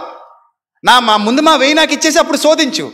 ఏవి శోధించమంటారంటే బాబు? సంవత్సరాల తరబడి శోధిస్తానే ఉన్నాను కానీ నాకు వచ్చేది ఏడిచేది లేదు కానీ ఇక్కడ నాకు ఇబ్బంది అయిపోతుందండి బాబు. అలా అనకండి బాబు బాబు బాబు మీకు పుణ్యం ఉంటుందండి బాబు మీ పుణ్యం ఉంటుంది ఆ అస్సలు ససేమరా ఇంటికి తాళం వేసేయమంటావా? ఇస్తావా? హాస్పిటల్ పాలు చేసేయమంటావా? ఇస్తావా? ఇంకో నాలుగు డెంగు దోమలు పంపమంటావా? ఇస్తావా? అని నేను అన్నాను అనుకోండి. అని నేను అన్నాను అనుకోండి. అప్పుడు దేవుడు నాకు ఉత్తముళ్ళ కనబడుతున్నాడా? ఎలా కనబడుతున్నాడు ఇప్పుడు నాకు దేవుడు? నువ్వు దేవుడివేనేందయ్యా? ఇంత దారుణంగా ముక్కుపిండి వసూలు చేస్తున్నావు అసలు దేవుడివేనా? జాలి లేదయ్యా నీకు దయ లేదయ్యా నీకు కృప లేదయ్యా నీకు కరుణ లేదయ్యా నీకు. ఉత్తముడు కాదయ్యా నువ్వు అసలు రుచి చూస్తుంటే నాకు అసలు ఎక్కడ నీకు ఉత్తమత్వం నీ దగ్గర? కనబడలేదు ఇంత ముక్కుపిండి వసూలు చేస్తున్నావు బాబు నువ్వు? మేము ఇవ్వలేమయ్యా మా దగ్గర లేదు. అయితే నీకు ఇవ్వను నీ భూమి ఎండిపోద్ది అంతే హాస్పిటల్ పాలైపోతావు. మాకు ఇవ్వడానికి ఏడుతావు కానీ హాస్పిటల్ అయితే కలిసి పెడతావు. నాశనం అయిపోతావు అంతే నువ్వు. ఎందుకు పనికుండా పోతావు నీ కుటుంబం నాశనం అయిపోద్ది అన్నాడు అనుకోండి. అలాంటి దేవుడు దేవుడేనా? ఆ దేవుడు మనకు అవసరమా? ఆ దేవుడు నిజంగా ప్రేమామయుడేనా?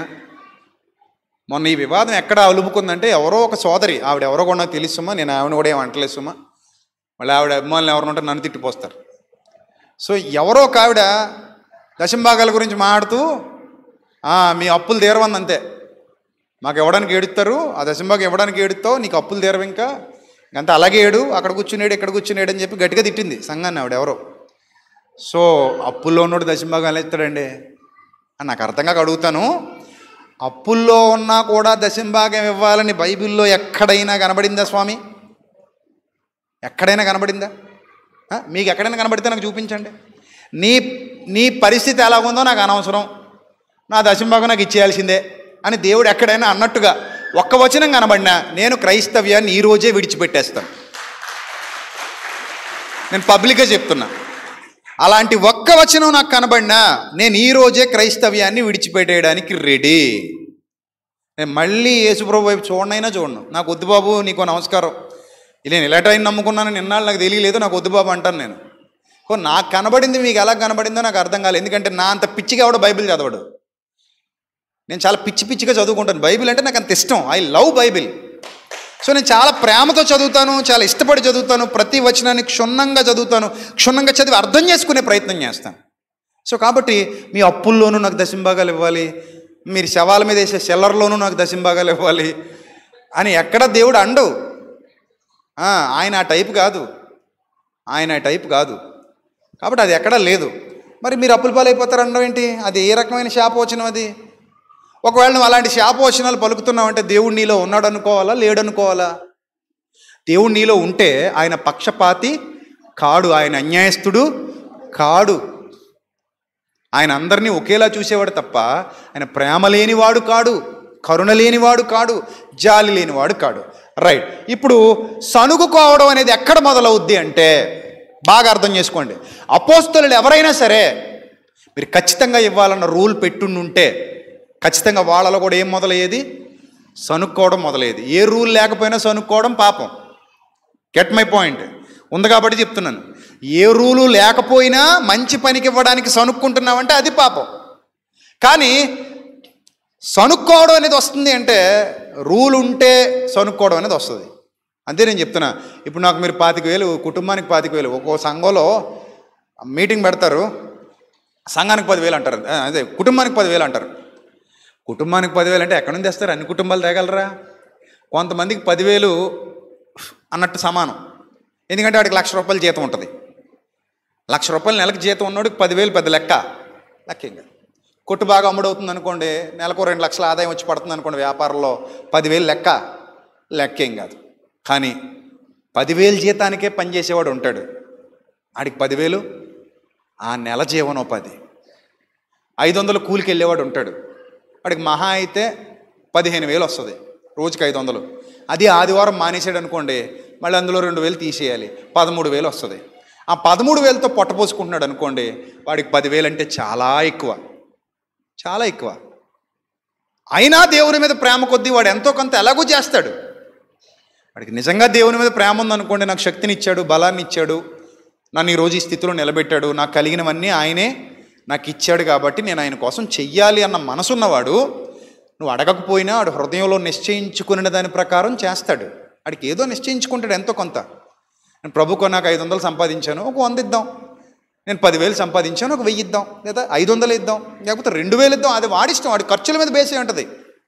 ఇప్పుడు ఒకడు ఉంటాడు పెళ్ళం పిల్లలు కుటుంబం గొడవ ఏం ఉండదు గాలికి తిరిగే గాలిపటం గాళ్ళగా ఉంటాడు. ఏ పెళ్ళి పెళ్ళి అవ్వలేనోడికి పరిస్థితి ఏంటో ఇరవై పదివేలు వచ్చింది అనుకోండి నెలకాడు ఏం చేసుకుంటాడు ఆ పదివేలు? అడగడానికి ఆవిడ లేదు. అమ్మ నాన్న కూడా లేరనుకోండి ఎక్కడో ఎక్కడో పని చేసుకున్నాడు అనుకోండి పదివేలు నెలకు వచ్చి పడుతుంది అనుకోండి అది ఇరవై వేలు వచ్చి పడుతుంది అనుకోండి వాడికి ఏం లేదు ఇంక వెనక ముందు. Galigopuram railway station. అప్పుడు ఏం చేస్తాడు చెప్పండి? వాడు నిజంగా విశ్వాస అయితే ఆడ అవసరమైతే ఎనిమిది వేలు ఇచ్చేసి రెండు వేలు చాలండి నాకు మెస్ బిల్కి దీనికి సరిపోద్ది అనుకోండి. మంచి కార్యం అయితే కదా? అది వాడిష్టం. మనం మనం నిశ్చయించుకున్నాడు వాడు అలా అంతే. అది వాడిష్టం. ఎవరి ఎవరి హృదయంలో నిశ్చయించుకుని దాని ప్రకారం అంటాడు చూడండి అక్కడ. సనుగు కొనకయు. First point. రెండోది. రెండో పాయింట్ ఏంటి? బలవంతంగా కాకయు అన్నాడు అంతే ఇప్పుడు మరి చాలామంది దశంభాగం ఎలా వసూలు చేస్తున్నారు చెప్పండి. బలవంతంగా. దానికి మళ్ళీ ఏమంటారు తెలుసా? దశంభాగం ఇవ్వకపోతే మీ కుటుంబం దీవించబడదు.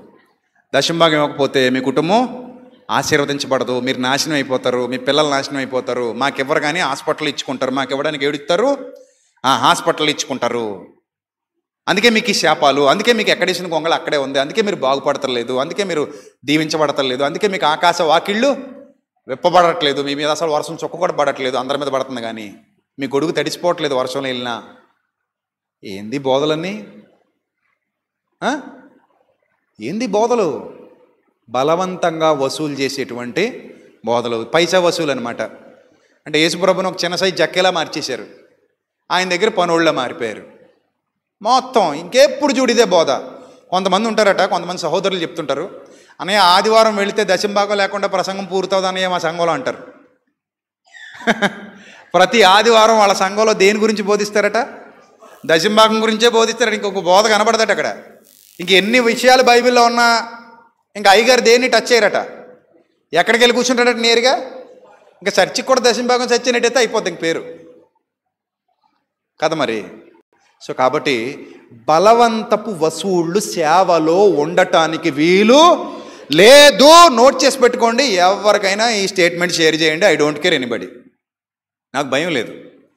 నేను చెప్పేది సత్యం. బలవంతపు వసూళ్ళు ఎక్కడున్నా సరే అది పరిచర్య కాదు. బలవంతపు వసూలు ఎవడు చేసినా సరే వాడు సేవకుడు అనబడడు. అనబడడు. సేవకుడు అన్న పదానికి అర్థం నీకు తెలియదు నువ్వు ద్రోహివి దొంగవి. ఎందుకంటే బలవంతంగా రూపాయి లాక్కునే అధికారం కూడా నీకు దేవుడు ఇవ్వాల?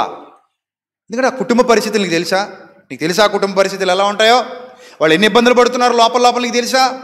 వాళ్ళు ఎంత వేదన అనుభవిస్తున్నారు నీకు తెలుసా? నీకు తెలుసా? తెలీదు. ఒకరోజు నేను మొన్న ఈ మధ్య నేను మీటింగ్కి వెళ్ళాను మన తమ్ముడు ఒక తమ్ముడు ఆహ్వానిస్తే. వెళ్తే అంతా అయిపోయింది మీటింగ్ అంతా అయిపోయింది మేము వెళ్ళాం అయిపోయింది లోపల కూర్చున్నాం. కూర్చున్న తర్వాత వాళ్ళ మిస్సెస్ వచ్చింది నా దగ్గరికి అన్నయ్య పరిస్థితులు బాగాలేదండి ప్రార్థన చేయండి. పిల్లలకు ఫీజులు కూడా కట్టలేకపోయాం ఈ నెలలో.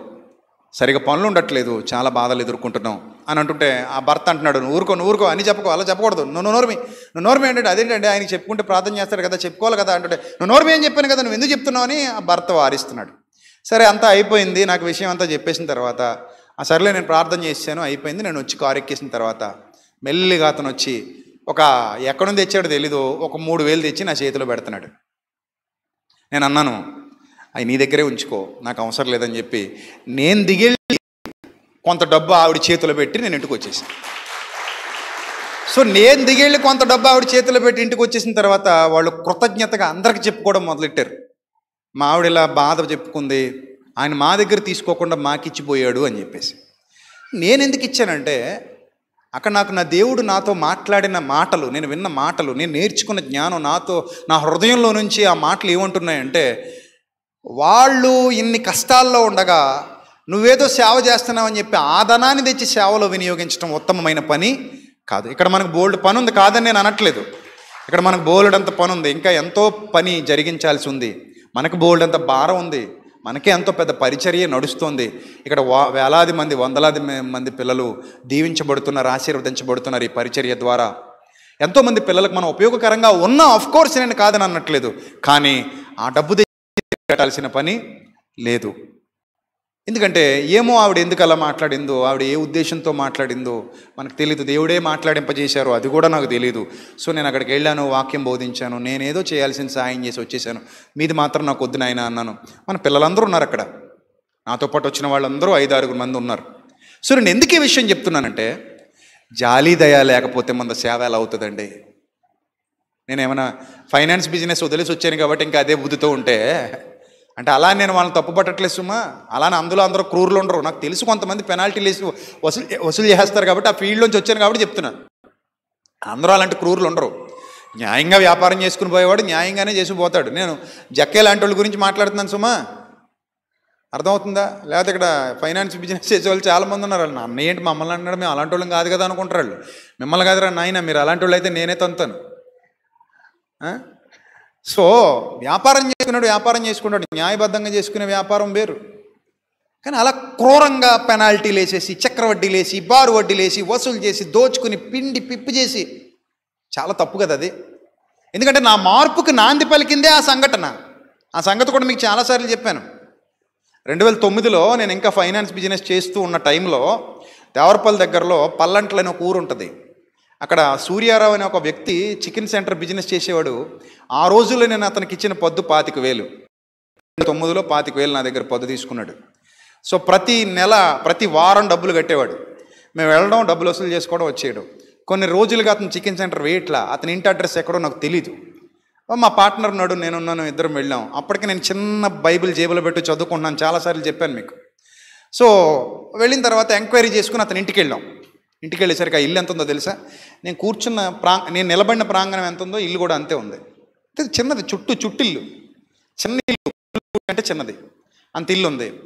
ఆ భార్య బయట పడుకుని ఉంది కాలు ఇంత లావు వాసిపోయింది. కాళ్ళకు కురుపులు ఉన్నాయి రసి కారుతుంది. భార్య పడుకుని ఉంది అక్కడ. నేను వెళ్ళి ఇలా బండి ఆపగానే పగిలిపోయిన కళ్ళజోడుతుంది నాకు ఇంకా గుర్తు నా నా మనసులో ఇంకా గుర్తుంది. కళ్ళజోడు ఒక పక్క పగిలిపోయింది ఒక పక్కే ఉంది. ఈ పక్కన అది లేదు దానికి దాన్ని ఏమంటారు? హ్యాండ్ పురుకోసు కట్టుకున్నాడు. మొలతాడు కానీ పురుకోసు కానీ కట్టుకున్నాడు ఆ కళ్ళ చోటుకి. అది కట్టుకుని చెవికి పెట్టుకుని కళ్ళు కనబడవు మరి పాపం. అర్థం వేయించుకోవడానికి కూడా డబ్బులు చూడగానే మనం గుర్తుపట్టాలి అలాంటి విషయాలు గుర్తుపెట్టాను. సో బండిలో ఆపగానే పరుగు పరుగు పరుగున వచ్చిన కాలు పట్టేసుకున్నాడు ఇలాగా. కాలు పట్టేసుకుని ఏమంటే రెడ్డి గారు డబ్బులు లేవండి బాబు బాబు ఏమనకండి తిట్టకండి మా ఆవిడ పరిస్థితి బాగాలేదండి ఇచ్చేసుకుంటానండి తొందరలో తీర్చేసుకుంటానండి బాబు బాబు వ్యాపారం కూడా లేదండి ప్లీజ్ అండి ప్లీజ్ అండి అంటుంటే ఒకసారిగా మనసు అలా ద్రవించిపోయింది నాకు. అరే రే రే రే రే ఎంత బాధాకరమైన స్థితిలో ఉన్నాడు రా అనిపించి కార్డు ఇలా పట్టురా అన్నాను. పట్టుకొచ్చాడు. అతను ఎదురుగానే చింపేశాను. అతను ఎదురుగానే కార్డు చింపేశాను. కార్డు చింపేసి అక్కడ పడేసి నువ్వు నాకు డబ్బులు కట్టక్కర్లేదు తెలిపో అన్నాను. అతను అవాక్ అయిపోయి ఏం చేయాలా ఏం ఆడాలో అర్థం కాక అలా ఉండిపోయాడు. అలా ఉండిపోతే నా దగ్గర ఉన్న కొంత అతని చేతిలో పెట్టి నేను వెళ్తున్నాను ఇంకెప్పుడు నేను ఇంటికి ఎవడో రాడనేసరికి వెనకున్న మా పార్ట్నర్ ఒప్పుకోలేదు. ఇంటికి వచ్చిన తర్వాత మా పెద్ద ఇష్యూ చేసాడు దాన్ని. ఇలా అయితే వ్యాపారం ఏం చేస్తాం? ఇలా కాట్లు చింపుకుంటూ పోతే ఎలాగా? సో మనం పార్ట్నర్స్ కదా మాకైనా ఒక మాట చెప్పాలి కదా ఇంత ఇన్ని లక్షలు పెట్టిన తర్వాత మీ వాడు ఇలా ఏదో దానం చేసుకుంటూ పోతే మనం వ్యాపారం ఎలా చేస్తాం అంటే నేను అన్నాను రేపటి నుంచి నేను లైన్కి రావట్లేదు నువ్వే చూసుకో వ్యాపారం అన్నాను. నాది నాకు సెటిల్ చేసి నాకు ఇచ్చేయి నేను రావట్లేదు నీ బిజినెస్ నువ్వే చూసుకో. మన ఇద్దరి మధ్యన ఇలాంటి మిస్అండర్స్టాండింగ్స్ ఎప్పుడు రాకూడదు. నా అకౌంట్లో వేసుకో ఆ పాతిక వేలు నీకు సంబంధం లేదండి నాది నా అకౌంట్లో వేసుకో. నా అకౌంట్లో వేసుకో. నేను నేను నేను చెల్లించుకుంటాను నీకు అందులో వాటా కట్టను. నీ డబ్బు నేను ఇచ్చేస్తాను. నీ సగం నేను ఇచ్చేస్తాను. నా సగం నేను వదిలేశాను. సో నాకు అక్కర్లేదు అన్న. ఆ రోజుకి ఈ రోజుకి సేవ అంటే జాలితో నింపబడిందే తప్ప కఠినత్వంతోనూ క్రూరత్వంతోనూ నింపబడింది కాదు. అందుకే ఇన్నాళ్ళ నా సేవా పరిచర్యలో మనం ఈ కార్యక్రమం చేస్తున్నామని సంఘానికి చెప్పాను తప్ప ఈ పదమూడున్నర సంవత్సరాల్లో ఏనాడు కూడా అరే మీరు ఎంత ఇవ్వాలి మీరు ఎంత ఇవ్వాలి మీరు అంత ఇవ్వాలి మీరు ఇంత ఇవ్వాలని అడిగిన ఏనాడు నేను అలాంటి పాపపు మాట నా నోటి వెంట రాలేదు. మీరే సాక్ష్యం. మీరే సాక్ష్యం. నేను ఎప్పుడు అడగను అలా చేయను కూడా. ఒకళ్ళు ఎవడైనా నా సంఘ సభ్యుడు బాధలో ఉన్నాడని నాకు అర్థమైతే నేను ఏదో విధంగా తెలియకపోతే నేనేం చేయలేను సుమా. ఎందుకంటే ఇన్ని వేల మందిలో ఎవరెలా ఉన్నారో నాకు తెలియదు కానీ ఎవరొకరి ద్వారా నా దాకా సమాచారం వచ్చింది అంటే మాత్రం వాళ్ళకి నిజంగా అవసరం ఉంది అంటే ఎంతో కొంత చెయ్యాలన్నదే నా మనసు. ఇది పరిచర్య అంటే. బలవంతంగా దోచుకునేవాడు ఎప్పుడూ సేవకుడు కాడు. నిలదీసి అడిగేవాడు సేవకుడు కాడు. నువ్వు ఎలా నిలదీయగలవు వాళ్ళని? నీకు ఏ అధికారం ఉందా నిలదీయడానికి? మనమందరం దేవుని పిల్లలం. నేను నిలదీసి వసూలు చేయడానికి నువ్వేమైనా నా దగ్గర బాకీ తీసుకున్నాడువా? బాకీ తీసుకున్నోడే వచ్చి కాలు పట్టుకుంటే అసలు నాకు రెండు రోజులు నిద్రపట్టలేదు అదే మైండ్లో తిరిగేది అదే మైండ్లో తిరిగేది. అరే రే రే అను నా కాళ్ళు పట్టుకోవడం ఏంటి? నాలాంటి సాటి మనిషి సరే ఉంటే ఇచ్చేసేవాడే. లేవు కాబట్టి ఆ పరిస్థితికి వచ్చాడు. ఎక్కడ తిట్టేస్తానో అని భయం ఎక్కడ కొడతానో అని భయం. ఒకప్పుడు కొంతమంది కొంతమంది మూర్ఖులు ఇళ్ళకి తాళాలు వేసిన ఉండే నేను. కొంతమంది మూర్ఖుల దగ్గర బళ్ళు తెచ్చేసి ఆఫీస్ దగ్గర పెట్టి నీ దిక్కున్న చోట చెప్పుకో అన్నవాడినే నేను. నాకు తెలుసు ఆ విషయం. అలా మూర్ఖంగా వసూలు చేసిన సందర్భాలు ఉన్నాయి నా జీవితంలో. ఎందుకంటే వాడు మూర్ఖుడని నాకు అర్థమైన తర్వాత అలా చేశాను. అది నా నా బిజినెస్లో ఇంకంతే. కొన్ని కొన్ని సందర్భాల్లో కోర్టు కేసిన నోట్లు కూడా ఉన్నాయి. నేను కాదని అనట్లా ఎందుకంటే వాడు మూర్ఖుడు కాబట్టి వాడు నన్ను బ్రతిమలాడు వాడి బాధ నాకు చెప్పుకునో కాదు వాడు మూర్ఖత్వంతో ఎగ్గొడదామని చూసిన సందర్భాల్లో నా రియాక్షన్ అలా ఉంది. కానీ ఎప్పుడైతే నా నా దగ్గరకు వచ్చి అంత జాలిగా కళ్ళ ముందు కనబడుతున్నప్పుడు కూడా నేను కనికరించకపోతే నేను కూడా మృగం లాంటి వాడిని తప్ప మనిషిని ఎలా అవుతానని అనిపించింది నాకు ఆ రోజు. ఆ సంఘటన నన్ను చాలా మార్చింది. ఆ సంఘటన నన్ను చాలా ఆలోచింపజేసింది. ఆ సంఘటన నన్ను ఇంకా నాకు ఇది కరెక్ట్గా సెట్ అవ్వదు. నేను ఇంక ఇందులో ఉండలేను. అని వెంటనే నిర్ణయం తీసుకుని కూర్చున్న కొమ్మను నరుక్కుని సేవలోకి వచ్చాను నేను. ఆ రోజు మా నాన్న నన్ను కన్విన్స్ చేయడానికి చూశారు. మా అన్నయ్య నన్ను కన్విన్స్ చేయడానికి చూశారు. నా ఫ్యామిలీ మొత్తం నన్ను కన్విన్స్ చేయడానికి చూశారు. అరే వద్దు ఇలా కాదు. నువ్వు ఇప్పుడు ఏంటి ఈ సేవలోకి వెళ్ళిపోతానంటావు ఇవన్నీ వదిలేసుకుని పోతే నువ్వు ఎలా సేవ చేస్తావు? ఏం సేవ చేస్తావు? నువ్వు ఏమైపోతావు తర్వాత నీ పరిస్థితి ఏంటన్నప్పుడు నేను అన్న మాట ఏంటో తెలుసా? నన్ను విడువని వాడు ఎడబాయిని వాడు ఒకడు ఉన్నాడు. ఆయన నాకు ధైర్యం ఇస్తున్నాడు ఆయన నన్ను ప్రేరేపిస్తున్నాడు ఆయన నాకు శక్తినిస్తాడు బలాన్ని ఇస్తాడు నన్ను నిలబెట్టుకోవాలంటే ఆయన నిలబెట్టుకుంటాడు. ఈ రోజుకి చూడండి సేవ జరుగుతోంది. ఈ రోజు విజయప్రసాద్ అనేవాడు ఈ స్థాయిలో ఉన్నాడంటే దానికి కారణం దేవుడు అని నేను బలంగా నమ్ముతున్నాను. ఆయన లేకపోతే నన్ను నేను వాడబడను. ఆయన లేకపోతే నన్ను వాడుకునేవాడు ఎవడు ఉండడు. ఆయన లేకపోతే నన్ను మీటింగ్లకి విదేశాలకు పిలిచేవాడు ఎవడు ఉండడు. స్వదేశంలోనే కాక అంతర్జాతీయంగా అనేక ప్రాంతాలకు వెళ్ళి వాక్యం బోధించి వస్తున్నాను అని అంటే ఈరోజు మీరు ఎంతమంది ఇన్ని వేల మంది మూడు సంఘాలు కూర్చొని వాక్యం వింటున్నారు? ఈ అరెకరం ప్లేస్ కూడా సరిపోదేమో అని డౌట్ వస్తుంది ఉండే కొలది. రోజు రోజుకి ఇంతమంది దేవుడిని మనకు అప్పగిస్తున్నాడు అని అంటే అది దేవుడు నా వెనుకున్నాడు అనటానికి నిదర్శనమే తప్ప ఆయన కాపుదల నా పట్ల ఉంది నేను ఎవరిని మభ్యపెట్టో బలవంత పెట్టో బిస్కెట్లేసో ఆహ్వానించలా? ఏనాడు కూడా అలాంటి మాలాంటి పరిచర్య నా బ్రతుకులో లేదు. నా నోటి వెంట అలాంటి మాట కూడా రాలేదు మీకు తెలుసు. మీ అవసరాలు తీరుస్తాడు రండి మీ అప్పులు తీరుస్తాడు రండి మీ సమస్యలు పోతే ఇక్కడికి రండి ఏనాడు నేను ఈ స్థలానికి ఎవరిని పిల పిలిచిన వాడను? కాను నేను సంపాదించిన వారందరూ ప్రభు కొరకు సంపాదించిన వారందరూ సత్యవాక్యం విని సంపాదించబడిన వారే తప్ప ఒక్క కన్నింగ్ మాట కూడా ఒక్క ప్రాస్పెరిటీ గాస్పెల్ కూడా నా నోటి వెంట ఏనాడు రాలేదనడానికి మీరే సాక్షులు. మీరు సాక్షులు చెప్తున్నాను. సో దేవుని నామానికి మహిమ కలుగునుగా. కాబట్టి సనుగు కొనకయు. Next point బలవంతముగా కాకయు. ప్రతివాడు తన హృదయములో నిశ్చయించుకొనిన ప్రకారము ఇయ్యవలెను. దేవుడు ఉత్సాహముగా ఇచ్చువానిని ప్రేమించును. ఇక్కడెక్కడ మీకు ఒక లెక్క కనబడదు. కనబడిందా? ఒక నంబర్ కనబడిందా ఇక్కడ ఏమైనా నో? ప్రేమలోకి వెళ్ళిపోయిన తర్వాత ప్రేమలోనికి మనం అడుగుపెట్టిన తర్వాత దెర్ ఇస్ నో నెంబర్స్ అర్థమవుతుందా? దెర్ ఈజ్ నో నెంబర్స్ అక్కడ నంబర్స్ ఉండవు. ప్రేమలోకి మనం వెళ్ళిపోయిన తర్వాత కొలతలుండవు లెక్కలుండవు. ప్రేమకు కొలతలు ఎక్కడవి రేపొద్దున నా బిడ్డకో నా భార్యకో నా తల్లికో నా తండ్రికో ఏదో జరుగుతుంది. ఏదో జరిగితే హాస్పిటల్లో ఖర్చు పెట్టాల్సి వస్తుంది. అప్పుడు వెళ్ళి నిలబడి లక్ష రూపాయల లోపల వైద్యం చేసేయండి బాబయ్య. నేను అంతే ఇవ్వగలనండి వీళ్ళకి అంటానా ఓ పదివేల్లో వైద్యం అయిపోయేలా చూడండి బాబయ్య. అంతకు మించి ఒక్క రూపాయినా నేను ఇవ్వలేను అంటానా? మరేమంటాను? ఎంతైనా పర్లేదండి. చేసేయండి. ఎంతైనా పర్లేదు నాకు వాళ్ళు బతకాలంతే. ఒకవేళ నా దగ్గర ఏమీ లేదనుకోండి అప్పుడు మళ్ళీ సమాజంలో మీ దగ్గరకు మీ దగ్గరకు వచ్చి చేతులెత్తి మొక్కటానికి కూడా వెనకాడమేమో. కాళ్ళు పట్టుకుని అడగటానికైనా వెనకాడమేమో ఎందుకంటే ప్రాణం పోతుంది. బాబు బాబు ఉన్నప్పుడు మళ్ళీ ఇచ్చేసుకుంటాను. మీకు ఇష్టమైతే నాకు కొంత సాయం చేసి పెట్టండి. ప్లీజ్ బాబు అని మిమ్మల్ని బతిమలాడుకోవడానికి కూడా నేను వెనకాడనేమో. ఎందుకంటే ప్రేమ నన్ను అంత స్థాయికి తీసుకెళ్ళిపోద్ది. అలాంటి ప్రేమను వదిలేసి బలవంతపు వసూళ్ళు చేయడానికి ఇది ఏమైనా మాఫియా అనుకున్నారా? దౌర్భాగ్యులారా? అసలు సేవకులా మీరంతా? వసూలు చేసుకోవడానికి? సేవకుడు అనే పదానికి అర్థం ఉందా? అలా వసూలు చేస్తే? అదా సేవ అంటే అదా సేవ అంటే జాలి లేనివాడు దయ లేనివాడు కరుణ లేనివాడు ప్రేమ లేనివాడు సేవకుడు ఎట్లా అయ్యాడు? వాడు సేవకుడు పిలువబడతాడు?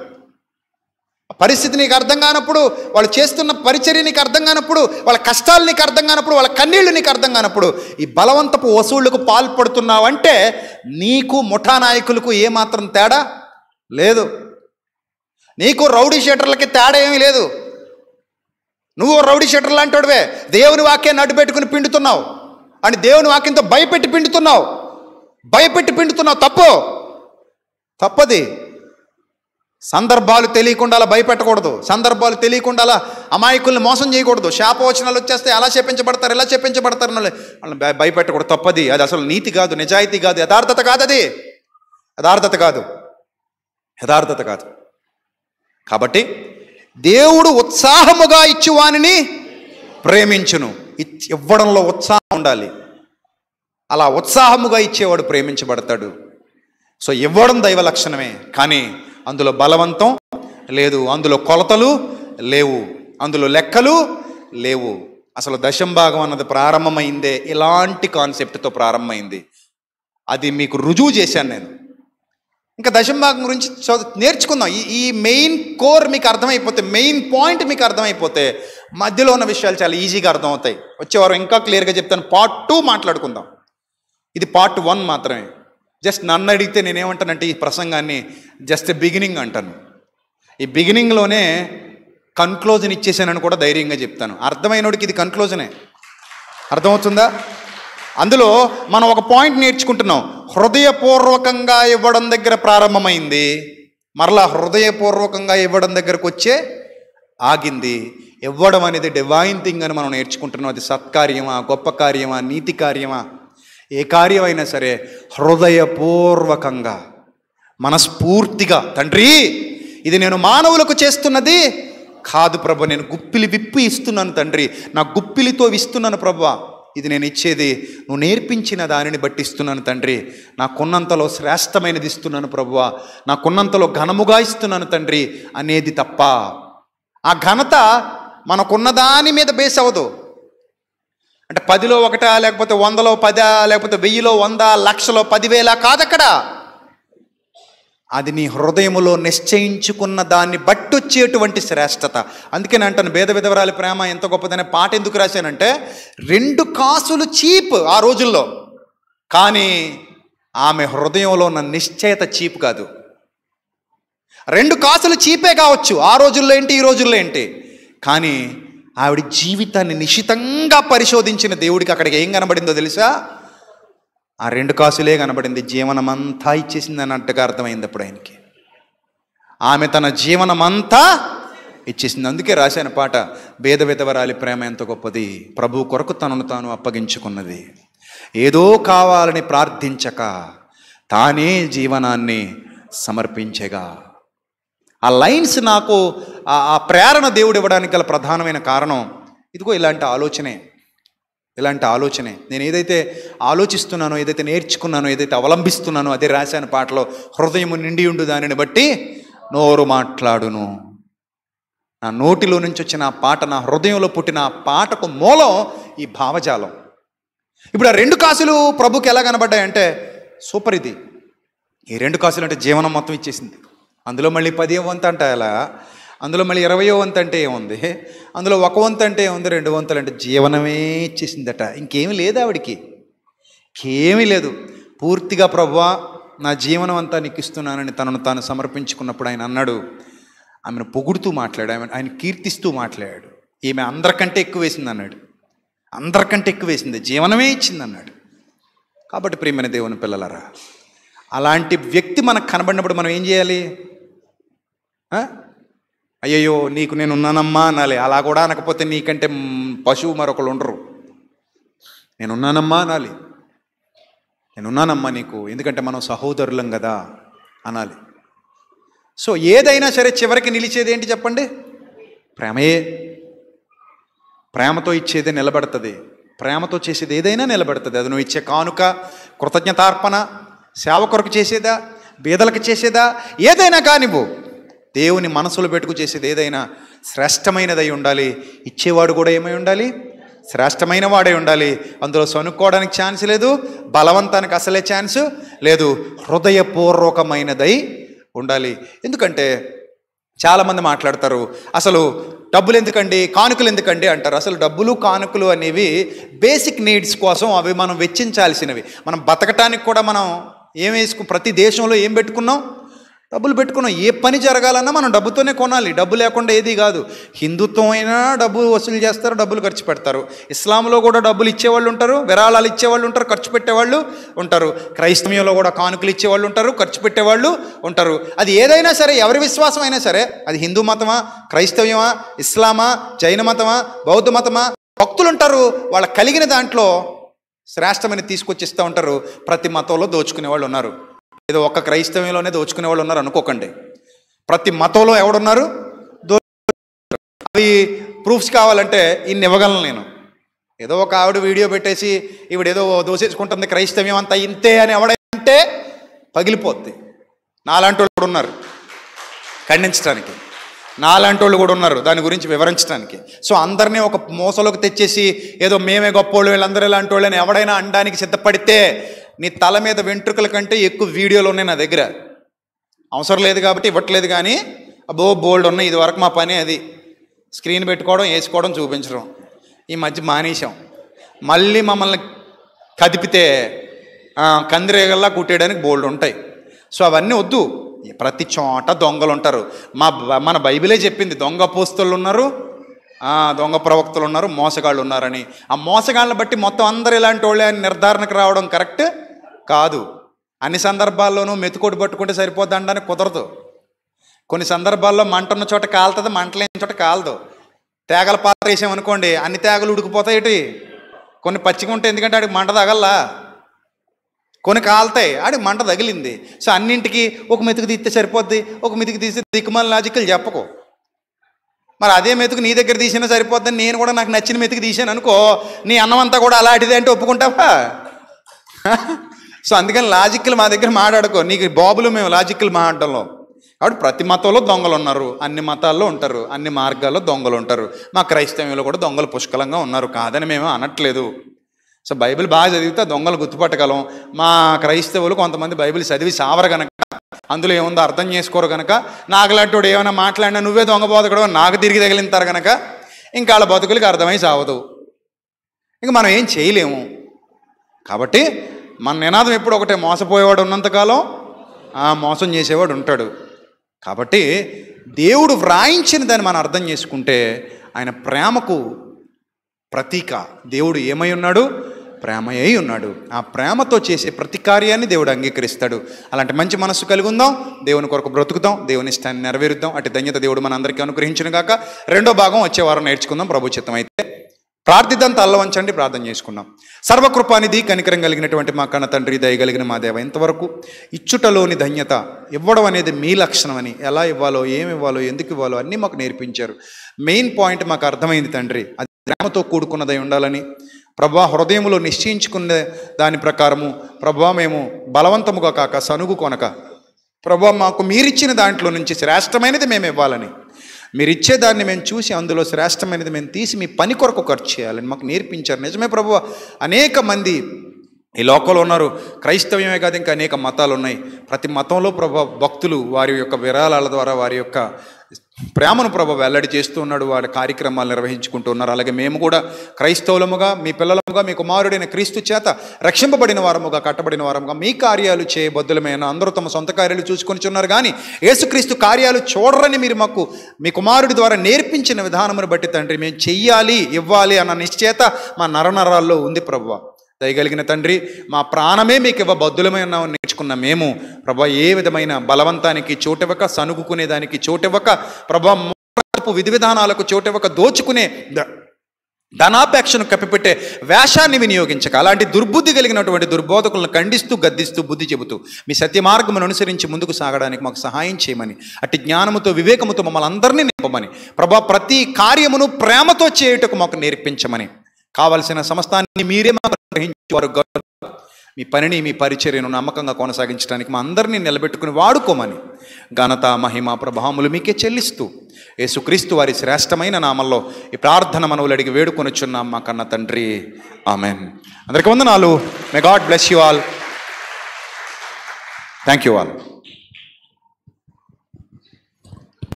ఇప్పటి వరకు దేవుని వాక్యాన్ని మనకు నేర్పించిన అలాగే ఎన్నో సంగతులు వినిపించిన అన్నయ్య గారికి ప్రభు పేరిట అందరం తెలియజేస్తున్నానండి. మీకు అందరికీ తెలుసు ఇవాళ చాలామంది క్రైస్తవ బోధకులు ఎలా ఉన్నారంటే ఒక సిక్స్ డిజిట్ అమౌంట్ ఇస్తే కానీ వాళ్ళ ఊరు దాటి వెళ్ళరు. అంటే సిక్స్ డిజిట్ ఎంతో మీకే తెలుసు. అంటే వాళ్ళ అకౌంట్లో అంత పడితే తప్ప బయటికి రారు సంఘాని కోసం రారు మీ మీటింగ్స్ రావాలంటే మాకు ఎంత అమౌంట్ ఖచ్చితంగా అకౌంట్లో పడితేనే కానీ బయటికి వెళ్ళరు. కానీ నిజంగా నేను బాల్ అన్నయ్య అన్నయ్య బన్నీ వెళ్ళినప్పుడు నిజంగా చాలా సంఘాలకి వాక్యం చెప్పడానికి వెళ్తాం. కానీ అన్నయ్య తన సొంత డబ్బులతోనే పెట్రోల్ కొట్టించిన డీజిల్ కొట్టించిన దినాలు చాలా ఉన్నాయి. నిజంగా ఆయన ఖచ్చితంగా డబ్బు విషయంలో ఖచ్చితంగా ఉంటే ఇవాళ మనకి ఫ్యాన్లు కాదు ఏసీలు ఉండే. అవునా కదా? ఇంకా పెద్ద పెద్ద రాజమండ్రిలో పెద్ద పెద్ద సంఘాలు ఉండే. కానీ వాళ్ళ గొప్ప వాళ్ళు ఎవరంటే నిజంగా ఇలాంటి దొంగ బోధలు చేసుకుని బోధకులే గొప్ప వాళ్ళగా కనబడుతున్నారు. నిజంగా గొప్పగా దేవుని పరిచయం చేస్తున్న అన్నయ్య వాళ్ళు ఎలా అంటే దొంగ బోధకులు అంటారు. కానీ మనుషుల దృష్టికి మనం అలా కనిపించవచ్చు కానీ దేవుని దృష్టికి ఎలా కనిపిస్తున్నాడు తెలుసా అన్నయ్య? ఒక గొప్ప సేవకుడికి కనిపిస్తున్నాడు. అందుకే మనకు ఉండాల్సిన అతిశయం ఏంటో తెలుసా? నిజంగా ఈ సంఘంలో మనం ఉన్నా అంటే అది గర్వం కాదు ఖచ్చితంగా అతిశయం ప్రియులరా. కాబట్టి విన్న వాక్యాన్ని ఇంకా చాలామందికి అవసరం కనుక ఇంకా గ్రూప్లో ఉంది. ఐఫర్ గాడ్ మినిస్ట్రీస్లో అలాగే ఐఫర్ గాడ్ లైవ్ ఛానల్లో అనేక మంది వీడియోస్ ఉన్నాయి. ఇంకా ఎవరికెవరికైతే అవసరమో చాలా సంఘాలకు అవసరమో వాటిని ఖచ్చితంగా వినిపించండి. ఇంకా అనేక మందికి షేర్ చేస్తే ఈ సువార్త భాగంలో మనం కూడా పాలుభాగం కొనసాగుతాం. కాబట్టి ఇంత వాక్యాన్ని మనకు నేర్పించిన అన్నయ్యకి మరొకసారి నా వందనం తెలియజేస్తాను ప్రియారా ఇంకా ముందుకు వెళ్దాం ప్రియులారా. ప్రభు యొక్క బల్ల ఆరాధనలోకి వెళ్దాం. మన మధ్య ఉన్న వదిన వినూత్న గారు వచ్చి వాక్యపట్నం చదివిస్తుండగా దయచేసి శ్రద్ధాశక్తులు కలిగి ప్రభు బల్లలో చేతు చేతులు ముంచవలసిందిగా కోరుచున్నాం ప్రియులరా.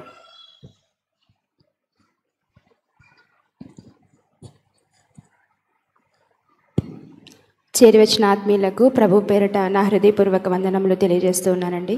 ఇప్పటివరకు చాలా లోతైన చాలా అమూల్యమైన మాటలు దేవుడు మనతో మాట్లాడారు. ప్రపంచంలో ఎన్నో చోట్ల ఎన్నో సంఘాలలో వాక్యాలు ప్రకటింపబడుతున్నప్పటికీ దశమ భాగాల గురించి ఇంత లోతైన వివరణ నేను ఎప్పుడూ వినలేదండి. పుట్టినప్పటి నుండి ఎన్నోసార్లు దశమ భాగాల గురించి మాట్లాడుతున్నప్పుడు ఎంతసేపు వాడిని పీల్చి పిప్పు చేసే బోధలే విన్నాను. ఎన్నో ప్రసంగాలు ఇప్పటికీ ఎన్నో వందల వేల వ్యూస్ చూస్తున్నారు ఇప్పటికీ ఎన్నో పెద్ద పెద్ద బోధకులు ప్రసంగిస్తూ ఉన్నారు.